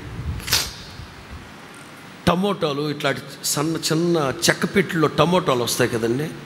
ఆ టమోటాలు తీసేసాక ఆ చెక్కను విడగొట్టి సి సీ క్యాంప్ దగ్గర శ్రీరామ్నగర్ సి క్యాంప్ దగ్గర రోడ్డు మీద పెట్టుకొని భర్త చనిపోయాడు చిన్న వయసులోనే. ముప్పై ఏళ్ళు ఉంటాయి అమ్మాయికి. చిన్న వయసులో భర్త చనిపోతే రోడ్డు మీద ఆ టమోటాలు అమ్మేశాక ఆ చెక్కలు ఆ రోడ్డు మీద పెట్టుకొని ఎన్ని ఉదయం ఆరు గంటలకు వెళ్తే సాయంత్రం ఎనిమిది గంటల వరకు ఎన్ని చెక్కలు అమ్మితే ఆ- ఆ ఇల్లు పోషింపబడుతుంది అట్లాంటి తల్లినేనా నువ్వు మోసం చేసేది? అట్లాంటి తండ్రినేనా మోసం చేసేది?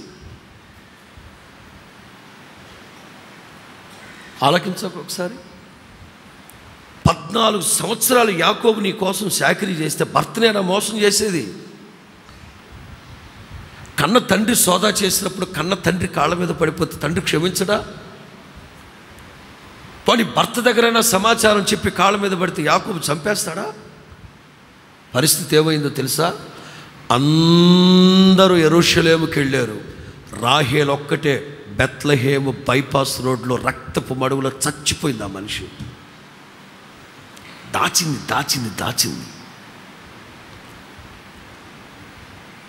ఆకాను ఏం దాచావు సార్? ఆ షేనారం పై ఒక పట్టు చీరగా ఒక్క పట్టు చీరకే ముంచుకొచ్చింది ఇక్కడ దేవుడు అంటాడు శపించబడిన దాంట్లో శపించబడిన దాంట్లో కొంచెం ఉన్నా సరే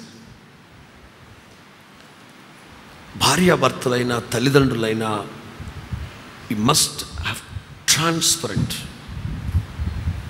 పారదర్శకంగా ఉండాలి. ఆదికాండ ముప్పై ఒకటి ముప్పై నాలుగు ముప్పై ఐదు.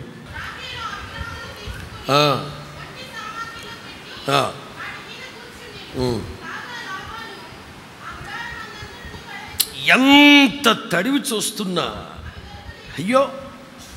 దాచేస్తుంది. ఆ.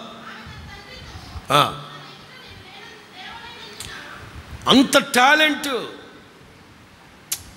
ఇప్పుడు రాహేలు మోస్ట్ టాలెంటెడ్ వన్. ఆకాను టాలెంటెడ్ వన్. నేను ఇక్కడ రాసుకున్నాను. మీ సామర్థ్యం ముఖ్యం కాదు మీ యథార్థత ముఖ్యం. స్తోత్రం చెప్పండి గట్టిగా. మీ సామర్థ్యం ముఖ్యం కాదు మీ యథార్థత ముఖ్యం. Hong Kong Hong Kong. గవర్నమెంట్ బస్సు వెనక ఒక స్లోగన్ రాసి పెట్టుంటారు. Sincerity leads to eternity sincerity leads to eternity యథార్థత నిత్యత్వానికి తీసుకెళ్తుంది. రాహేలు ఏమి టాలెంటెడ్ అమ్మ మీ నాన్న వెతికినా కనిపించకుండా మీ ఆయన పోయ్ నీ సామర్థ్యం ముఖ్యం కాదు ఇక్కడ. నీ యథార్థత ముఖ్యం. యథార్థత లేకుండా ఎంత చేసి ప్రయోజనం ఉంది? తమ్ముడు చెప్పాడు నాకు పాస్ గారు మీరు టైం వేస్ట్ చేసుకోవద్దు మీరు బయలుదేరండి. దేవుడి అనుమతిస్తే నీకెందుకండి? నేను ఒకటే మాట చెప్పాను ఎస్ ఇట్టి ఇట్టి పనులు చేసే వాళ్ళందరిని అడిగితే ఏమంటారంటే మేము క్షేమంగా ఉన్నాం. మంచిది నాయన. ఒకటి మాత్రం గుర్తుపెట్టుకో. దేవుడు అనుమతించుంటే నీకు సుఖజీవంతో గడుపు సంవత్సరాలు ఉంటాయి అలా కాని పక్షమైతే భయంకరమైన పరిణామాలు ఎదుర్కొంటావు. జాగ్రత్త. అంతే. మౌనంగా మోకరించాడు. రెండు చేతుల పైకి ఎత్తి కన్నీటితో ప్రార్థన చేసుకున్నాడు. పాస్టర్ గారు ఇక అట్లాంటి విషయాలు జోలికి నేను వెళ్ళను. ఆ తర్వాత ఒక మంచి అమ్మాయిని చూసి పెళ్ళి చేసాం ఇద్దరు పిల్లలు మంచి ఉద్యోగం కమ్మగా కాపురం చేసుకుంటున్నారు తల్లిదండ్రులైనా భార్యాభర్తలైనా సమాధానం అండి. శపించబడేది ఏ కొంచెం కూడా మన దగ్గర ఉండకుండా చాలా జాగ్రత్త పడాలి. స్తోత్రం చెప్పండి గట్టిగా. మూడో మాట. మూడో మాట. లుక పంతొమ్మిది ఎనిమిది. జక్కయ్య నిలవబడి నా ఆస్తిలో సగం పేదోళ్ళకి ఇస్తాను. నేను ఎవరి దగ్గరైనా అన్యాయంగా తీసుకొని ఉంటే నాలుగు రెట్లు నాలుగు రెట్లు నాలుగు అంతలు నాలుగు అంతలు ఇచ్చేస్తాను. చాలు. మీ కుటుంబాలు సమాధానము సంతోషం ఆనందంగా ఆనంద గృహాలుగా మీ కుటుంబాలు ఉండాలంటే మీ ఇంట్లో న్యాయంగా సంపాదించినవే మీ ఇంట్లో ఉండాలి. అన్యాయమైన వస్తువులు కానీ వ్యక్తులు కానీ వ్యవస్థలు కానీ ఏవి మీ ఇంట్లో ఉండకూడదు. స్తోత్రం చెప్పండి గట్టిగా. అవి ఉన్నంత కాలం మీకు సమాధానం ఉండదు. మీరు నీతిగా నిజాయితీగా సంపాదించారో లేదో ఒక్కసారి ఆలోచించండి. మరలా చెప్తున్నాను ఈరోజు మధ్యాహ్నం ఇంటికి వెళ్ళిన తర్వాత భోంచేసిన తర్వాత కాస్త కునికేసి లెగిసి నాలుగు గంటలకల్లా కమ్మటి కాఫీ తాగి ఇక దోమల మీద దాడి చేస్తూ ఇల్లు శుభ్రం చేస్తూ ప్రతి వస్తువుని ప్రతి వస్తువుని ప్రతి వస్తువుని ప్రతి వస్తువుని చూడండి. ఆ వస్తువు నీతిగా నిజాయితీగా సంపాదించిన వస్తువా? కాదా? మోసం చేసి సంపాదించిందా నీతిగా సంపాదించిందా? వద్దు. అది ఉన్నంతకాలం మీకు సమాధానం ఉండదు. నేను చాలాసార్లు చెప్పాను మీకు చాలాసార్లు చెప్తున్నాను. అందరి జీవితాలు జరుగుతాయని కదా మచ్చుకి కొన్ని జరుగుతాయి అవి మన హెచ్చరిక కోసం జరుగుతాయి. పెళ్ళయింది సరిగ్గా ఆరు నెలలు కూడా గడవలేదు. ఆరు నెలలు కూడా గడవలేదు. రోజు రోజుకి చిక్కి శల్యం అయిపోతూ ఉంది అమ్మాయి. భర్త చాలామంది డాక్టర్లకు చూపెట్టాడు కుదరలేదు. తల్లిదండ్రులకు తీసుకొచ్చి అప్పచెప్పాడు. డాక్టర్ దగ్గరికి వెళ్తే ఏ జబ్బు లేదన్నారు. తీరా చూస్తే రోజు రోజుకి రోజు రోజుకి ఒక్క మాటలో చెప్పాలంటే రేపో మాపో చచ్చిపోయే టీబీ పేషెంట్ ఒక్క మాటలో చెప్పాలంటే రొమ్ము క్యాన్సర్ వచ్చేసినంత ఫీలింగ్లో ఉన్న అమ్మాయి. ఆ రోజుల్లో ఆ కుటుంబం ఏసన గారి దగ్గరికి అయిపోయింది డాక్టర్లు అన్నారు ఇక అడ్మిట్ చేసుకోవడం కూడా కష్టం తీసుకెళ్ళిపోండి అని. ఆ రోజుల్లో తీసుకొచ్చి మందిరంలో పడేస్తే ఆ కుటుంబ సమేతంగా ప్రార్థన చేస్తూ ఉంటే ఏసన గారు ప్రార్థన చేస్తూ ఉంటే ఏసన గారికి ప్రభు చూపెట్టిన ఒక విషయం. ఒక చిన్న పిల్లలు చిన్న పిల్లలు ఒక సంవత్సరం బిడ్డ మెడలో వేస్తారు చూడండి సన్నటి చైన్ ఒకటి. అలాంటి చైన్ ఒకటి చూపెడుతున్నారట ప్రభు. ఆత్మలో ఆయన అడిగారు ప్రభుని ఏంటి ప్రభువా ఈ చైన్ చూపెడుతున్నారు? ఏంటంటే ఈ పిల్ల ఒక చైన్ దొంగతనం చేసింది. ఒప్పుకోమని నేను బాగు చేస్తాను. ప్రార్థన పిల్ల చిన్నప్పటి నుంచి ప్రార్థన కుటుంబం. ఈ పిల్ల ఆ పని చేసింది ఒప్పుకోమను. ఏసన్న గారికి తప్పలేదు. తల్లిదండ్రులు ముందు అడిగితే బాధపడతారని తల్లిదండ్రులు కొంచెం దూరంగా కూర్చోబెట్టి అమ్మ నీకోసం ప్రార్థన చేస్తుంటే చిన్న పిల్లల మెడలో వేసుకునే చైన్ చూపెడుతున్నారు ప్రభు. చైన్ విషయంలో నువ్వేమన్నా చేసావంటే లేదండి అది ఇది ఏడుస్తుందట. ఇక కుదరదు లేదు తల్లిదండ్రులు పిలిచి ఒకటే మాట చెప్పారు. ఈ పిల్ల కోసం ప్రార్థన చేస్తుంటే ప్రభు సన్న చైన్ చిన్న పిల్లల మెడలో చూపెడుతున్నారు. ఏంటో అడగండి. తల్లిదండ్రులు అడిగారు చెప్పమ్మా ఇవి ఏంటమ్మా ఏం జరిగింది? పెళ్ళిగాకు మునుపు పెళ్ళిగాకు మునుపు వాళ్ళ ఇంటి ప్రక్కన ఎవరికో చిన్న బిడ్డకి అన్నప్రాస.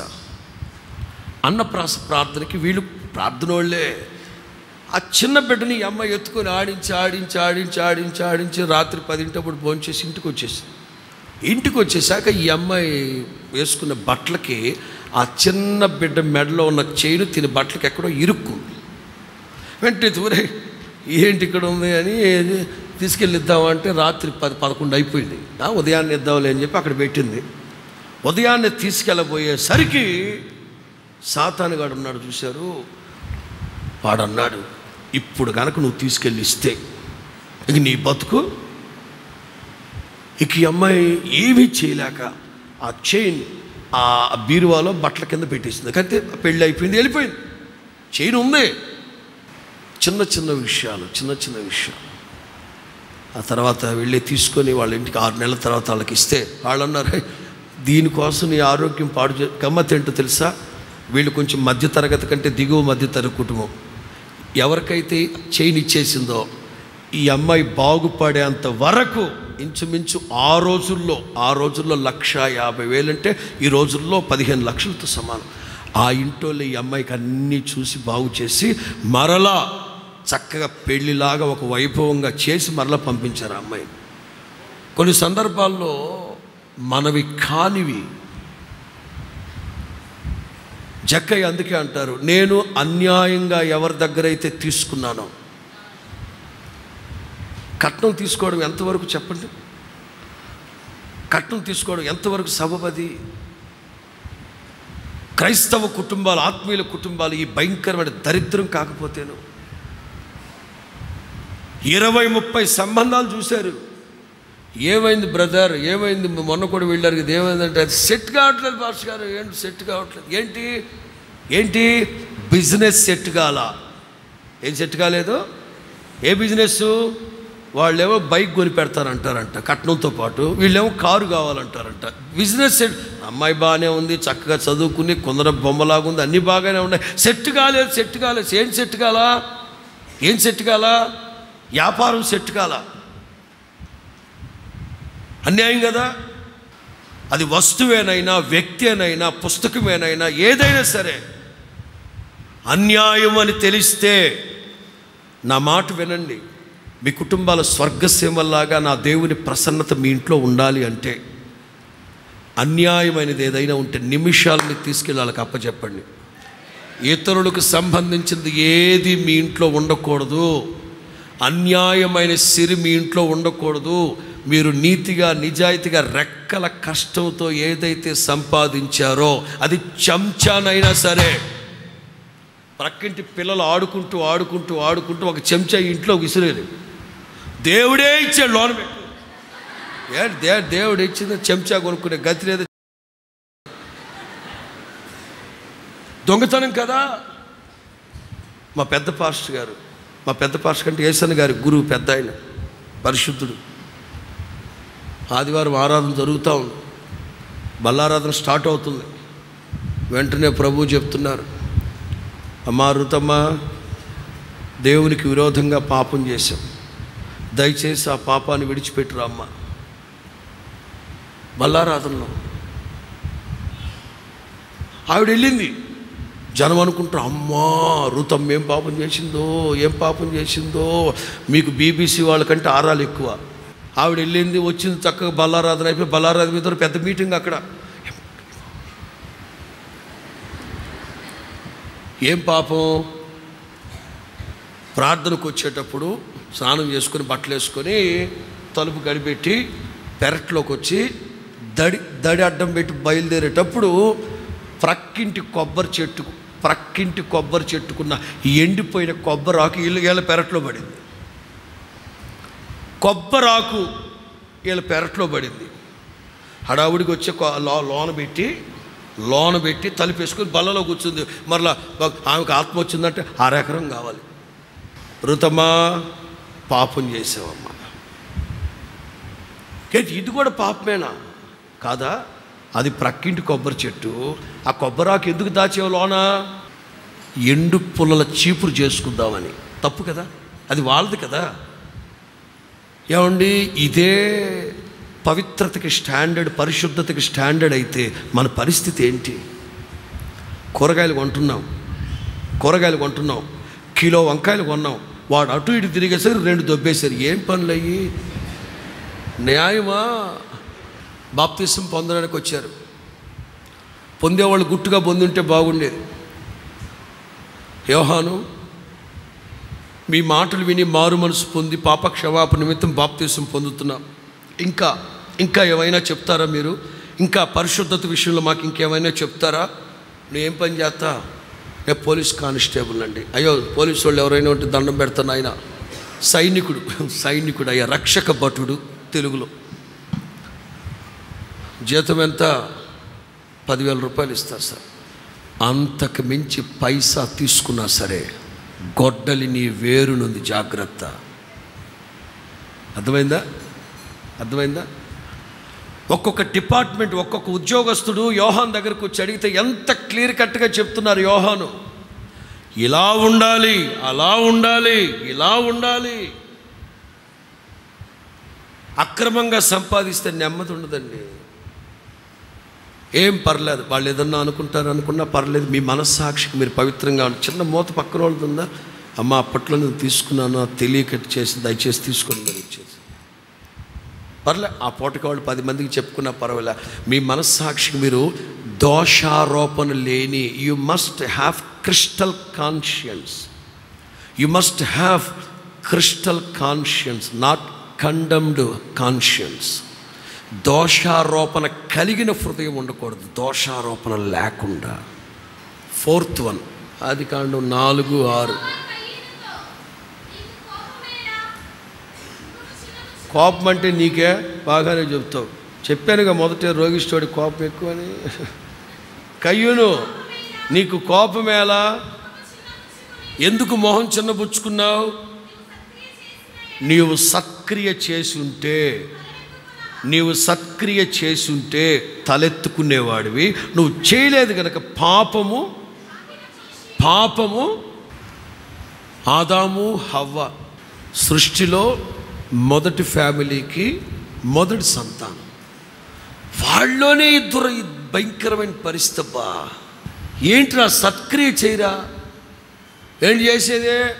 వాడు ఏమన్నా నాకు చేశాడా? నేను ఆడికి చేయటాకే మనం ఏమంటామంటే వాడు ఏమన్నా నాకు మేలు చేశాడా? నేను ఆడికి మేలు చేయటానికి? హ్యూమన్ సైకాలజీ మనుషులకున్న బుద్ధి ఎలాంటిదంటే వాళ్ళు మనకి ఏదైనా చేస్తే అప్పటికి కూడా చేయట్లేదు మనం. అప్పటికి కూడా చేయట్లేదు. సరే చేద్దాం. ఆడ మనకి ఏదైనా చేస్తే చేద్దాం. ఎక్కడ నేర్చుకున్నాం మనం ఇది? మనం ఎవరమో తెలుసా? ఆశీర్వాదానికి వారసులుగా ఉండేందుకే పిలువబడ్డాం. అలాంటిది దేవుని ద్వారా ఉగ్రత మన మీదకి తెచ్చుకోవడం ఎంతవరకు సమంజసం? నేను అనేది ఏంటంటే ప్రభు మనకు నేర్పించిన పాఠం ఏంటంటే కీడు చేసే వాళ్ళకి కూడా మనం మేలు చేయాలి. నెక్స్ట్ నేను రాసుకున్నది ఏంటంటే ప్రతిఫలం ఆశించకుండా మేలు చేయాలి. సమూయేలు మొదటి గ్రంథం ఇరవై నాలుగు. First Samuel twenty four sixteen downwards దావీదు సౌలుతో ఈ మాటలు మాట్లాడి చాలింపగా సౌలు దావీదు నాయనా ఈ మాటలు నీవేనా?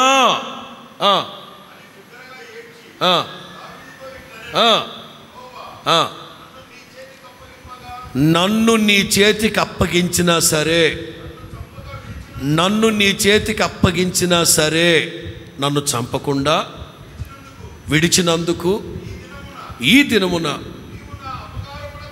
నేను ఇదిగో తలల పైకెత్తండి యాక్చువల్గా ఇది వేరే సబ్జెక్ట్లో మాట వేరే సబ్జెక్ట్లో మాట. సౌలు భోజనానికి కూర్చొని కూడా కత్తి పెట్టుకొని కూర్చొని ఉన్నాడు పక్కన. నట్టింట్లో కత్తి ఏమిట్రా? చెప్పలేం. వాడు ఎట్టుంచి వస్తాడో. అంటే భోంచేసేటప్పుడు కూడా డైనింగ్ టేబుల్ మీద కత్తి పట్టుకొని గన్న పట్టుకొని పట్టి తింటున్నాడంటే ఏం బతుకురా? అదే సౌలు అంటారు నేను నీకు చాలా అపకారం చేశాను. నీవు మాత్రం ఏ ప్రతిఫలాన్ని అపేక్షించకుండా నీవు ఉపకారమే చేసావు గనుక నిశ్చయముగా నీ సింహాసనం దేవుడు స్థిరపరచునుగాక. చదవండి. నా ఎడల నీకున్న ఉపకార బుద్ధిని వా వాట్ వాట్ వాట్ ట్రిమెండస్ నీవు నాకంటే నీతిపరుడివి. ఎవడండి ఊరుకునేది? ఆవగింజంత దొరికితే ఆనపకాయంత చేస్తున్నారు. ఆవగింజంత దొరికితే ఆనపకాయంత చేసి ఆరేస్తున్నారు. ఆరేస్తున్నారు. కానీ దావీదు మాత్రం పొరపాటున పనిచేయలే నాకంటే నీవు నీతిపరుడు గనక ఈ దినమున ఈ దినమున నీవు నాకు చేసిన దానిని యహోవా ప్రతిగా నీకు మేలు చేయునుగాక నిశ్చయముగా సందేహమే లేదు. సందేహమే లేదు. నిశ్చయముగా నీవు రాజు అవుతావు. నీ సింహాసనము నీ రాజ్యం స్థిర కొట్టు కొట్టు గట్టిగా కొట్టు గట్టిగా. హాలే లూయా హాలే లూయా హాలే లూయా మీకు మీ పిల్లలకి మీ కుటుంబాలకి బోడని మంది కీడు చేస్తారు అపకారం చేస్తారు చేస్తూనే ఉంట తరచుగా తరచుగా తరచుగా చేస్తూనే ఉంటారు.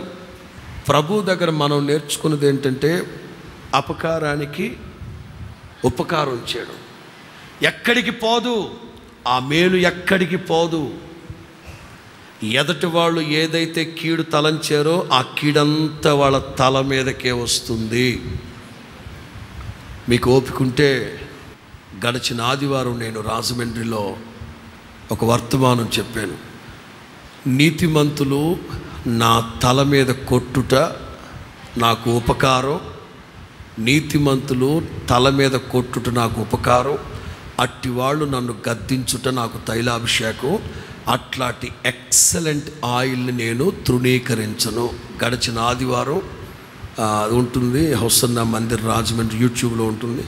గత ఆదివారం మూడు మాటలు చెప్పాను. మన తల మీద ఆశీర్వాదం రెండు మన తల మీద అభిషేకం మూడు మన తల మీద ఆనందం. ఆనందం ఆశీర్వాదం అభిషేకం మన తల మీద. ఎందుకంటే మనం చేతులతో చేసిన కాళ్ళతో చేసిన మనసుతో చేసిన దేంతో చేసిన ఆ కీడంతా మన తల మీద శనిగాడు నాట్యం ఆడుతూ ఉంటాడు. అందుకే ఆ తల మీద చెత్త కొట్టాలి. మీరు వినండి ఆ యూట్యూబ్లో ఉంటుంది ఆ మెసేజ్ చూడండి. ప్రిలరా ఎదుటి వాళ్ళు మనకు విరోధంగా ఎంత కీడు చేసినా హృదయం మందు తలంచిన కీడు వాళ్ళ తల మీదకి వస్తుందట. కనుక మనం ప్రభు దగ్గర నేర్చుకుంది కీడుకి ప్రతి కీడు చేయకూడదు. ప్రతిఫలం లాస్ట్ వన్. అపోస్తుల కార్యం ఐదు తొమ్మిది. ప్రభు యొక్క ఆత్మను శోధించడానికి మీరు ఎందుకు ఏకీభవించారు? ఓ what a tragic it is. What a pathetic situation. అదిగో నీ భర్తని పాతి పెట్టిన వాళ్ళు ఏ ఏం మాట్లాడుతున్నారా ఏంటి? హలో. మా ఆయన్ని పాతి పెట్టారా? ఏంటి కట్టుకున్న భార్య లేకుండానే అర్థమైంది మీకు ఇక్కడ? కట్టుకున్న భార్య నాకు చెప్పకుండానే అసలు నాకు తెలియపరచకుండానే వేసారు మా ఆయన్ని పాతేశారా? ఆదరణ కొట్ట కూడా పెట్టిస్తారా సంఘ పరిచయం సాగుతూ ఉంది. ఎవరికి వాళ్ళు ఎవరికి వాళ్ళు ఎవరికి వాళ్ళు ఎవరికి వాళ్ళే వ్యక్తిగతంగా వ్యక్తిగతంగా దేవునితో కొన్ని తీర్మానాలు చేసుకుంటున్నారు. పేతురు ఎవరికి చెప్పలేదు. ఎవళ్ళకు వాళ్ళే ఎవళ్ళకు వాళ్ళే ఎవళ్ళకు వాళ్ళే ఎవళ్ళకు వాళ్ళే ఎవళ్ళకు వాళ్ళే ఎవళ్ళకు వాళ్ళే దేవునితో నిబంధన చేసుకున్నారు. ఇది తప్పు. దేవునితో నిబంధన చేసుకున్నారు. ఆ సంగతి పేతురు యోహాను యాకోబులకి ఎవ్వరికి తెలియదు అది అబ్రామ్ పాస్టర్కి తెలియదు వెస్లీకి తెలియదు ప్రేమకు తెలియదు ఎవరికి తెలియదు మీరు సన్నిధికి వచ్చినప్పుడు మీ అంతట మీ అంతట మీ అంతట మీరే దేవునితో నిబంధన చేసుకున్నారు. అందులో బర్ణబా కూడా ఉన్నాడు అక్కడ. ఏ మాకు పొలం ఉంది. అది అమ్మిచ్చేద్దాం అని మీరు కదా దేవునితో ప్రమాణం చేసింది. వచ్చారు. వీళ్ళెవరు? అన్నయ్య సఫీరే ఎవరు? సంఘంలో భయభక్తులు కలిగిన కుటుంబం కాదా? ఇంత భయభక్తులు కలిగిన కుటుంబం శాపాన్ని పొందడానికి కారణం ఏంటి? మీ అంతటి మీరే దేవునితో నిబంధన చేసుకున్నారు. కాకపోతే పేతురు ఏమడిగారు పొలం అమ్మేసామండి కానుక తెచ్చాం అన్నారు. ఇప్పుడు మేము అడుగుతాం కదా అవునా? ఎంత ఎంత ఉంది అక్కడ ఎకరం ఎంత ఉంది అని అన్నాం. ఇంతే. ఆమె అన్ని ఆరాలు చెప్తారు ఇక్కడ మరి. నేనేం అడిగానా? చచ్చాడు. ఆవిడ వచ్చింది ఎమ్మ అంతకే అమ్మారా పొలం? మా ఆయన ఎంత అని చెప్పాడు మీకు? చెప్తే కదా పురుగులు పడి చచ్చాడు అక్కడ. పేతురు అంటారు మీరు మీరు నన్ను కాదు. మీరు సంస్థని కాదు. మీరు సేవకుల్ని కాదు. సాక్షాత్తు మీరు దేవునితో చేసిన నిబంధనని మీరారు మీరు. తప్పు కదా? తప్పు కదా? వినండి. ఈ భార్యాభర్తలకు సంతానం ఉన్నారంటారా? ఈ భార్యాభర్తలకి సంతానం ఉందా? అన్నయ్య సభ్యురాలకి సంతానం ఉందా?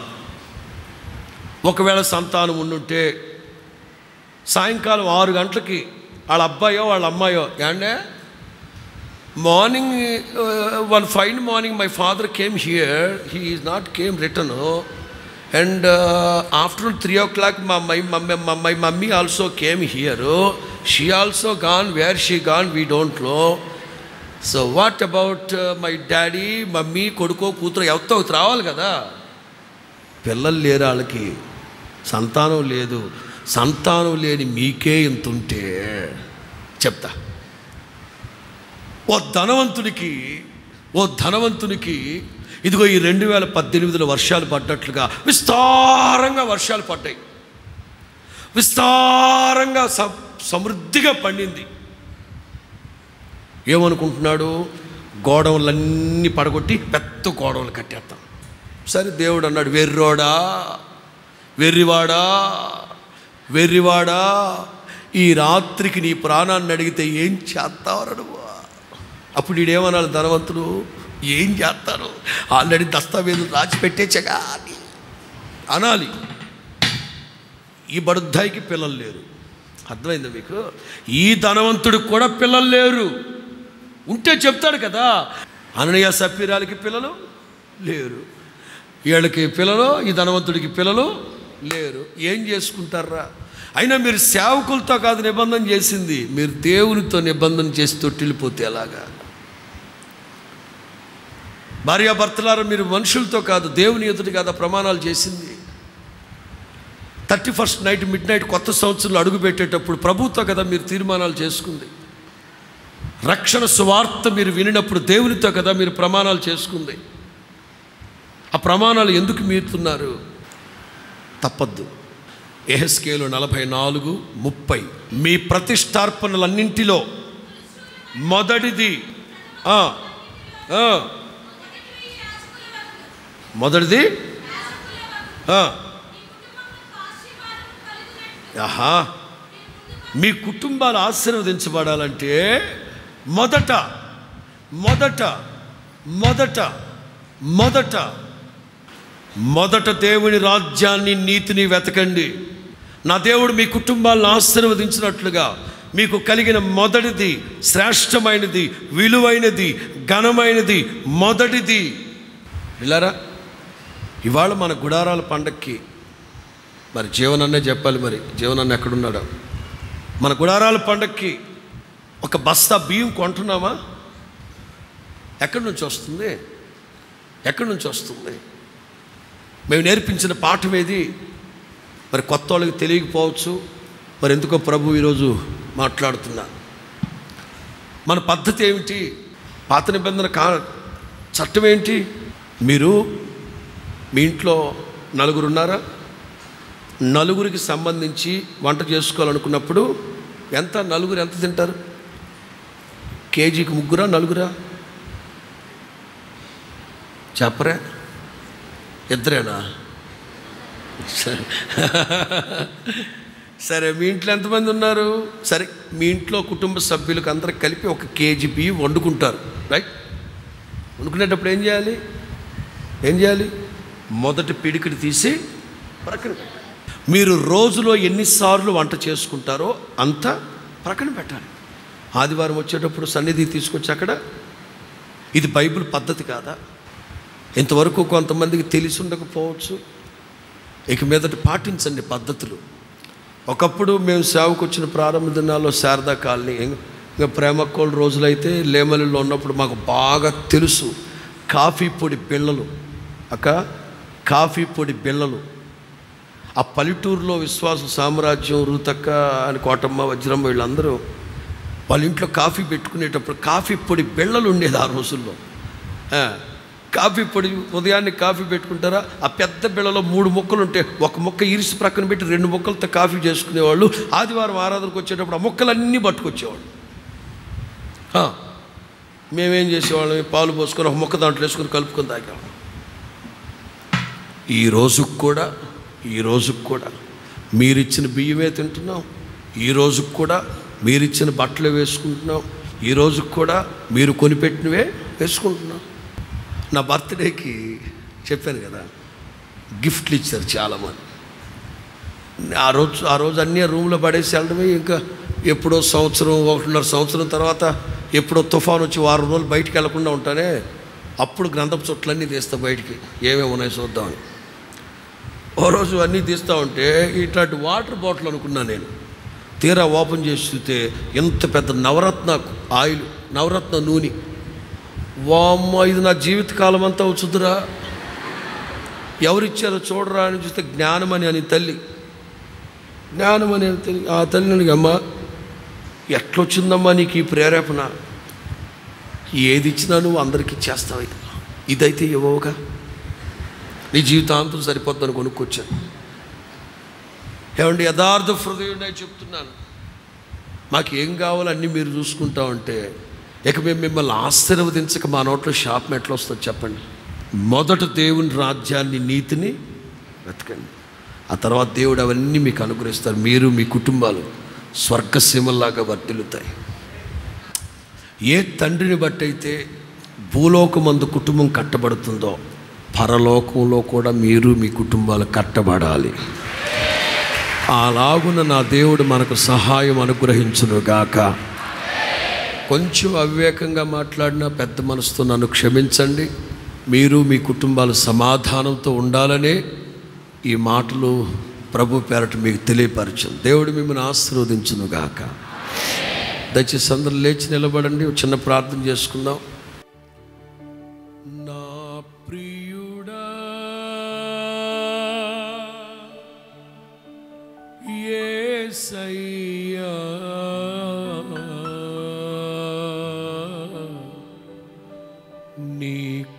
కృపలేనిదే నే బ్రతుకలేను. క్షణమైనా. నే బ్రతుకలేను. అవును. ముందెన్నడు వెళ్ళిన నూతనమైన మార్గంలో మీ కుటుంబాలు నడిపించబోతున్నాడు అందరూ ముందెన్నడు నేను వెళ్ళని నూతనమైన మార్గములన్నిటిలో ముందెన్న అదే విశ్వాసంతో. నూతనమైన మార్గములన్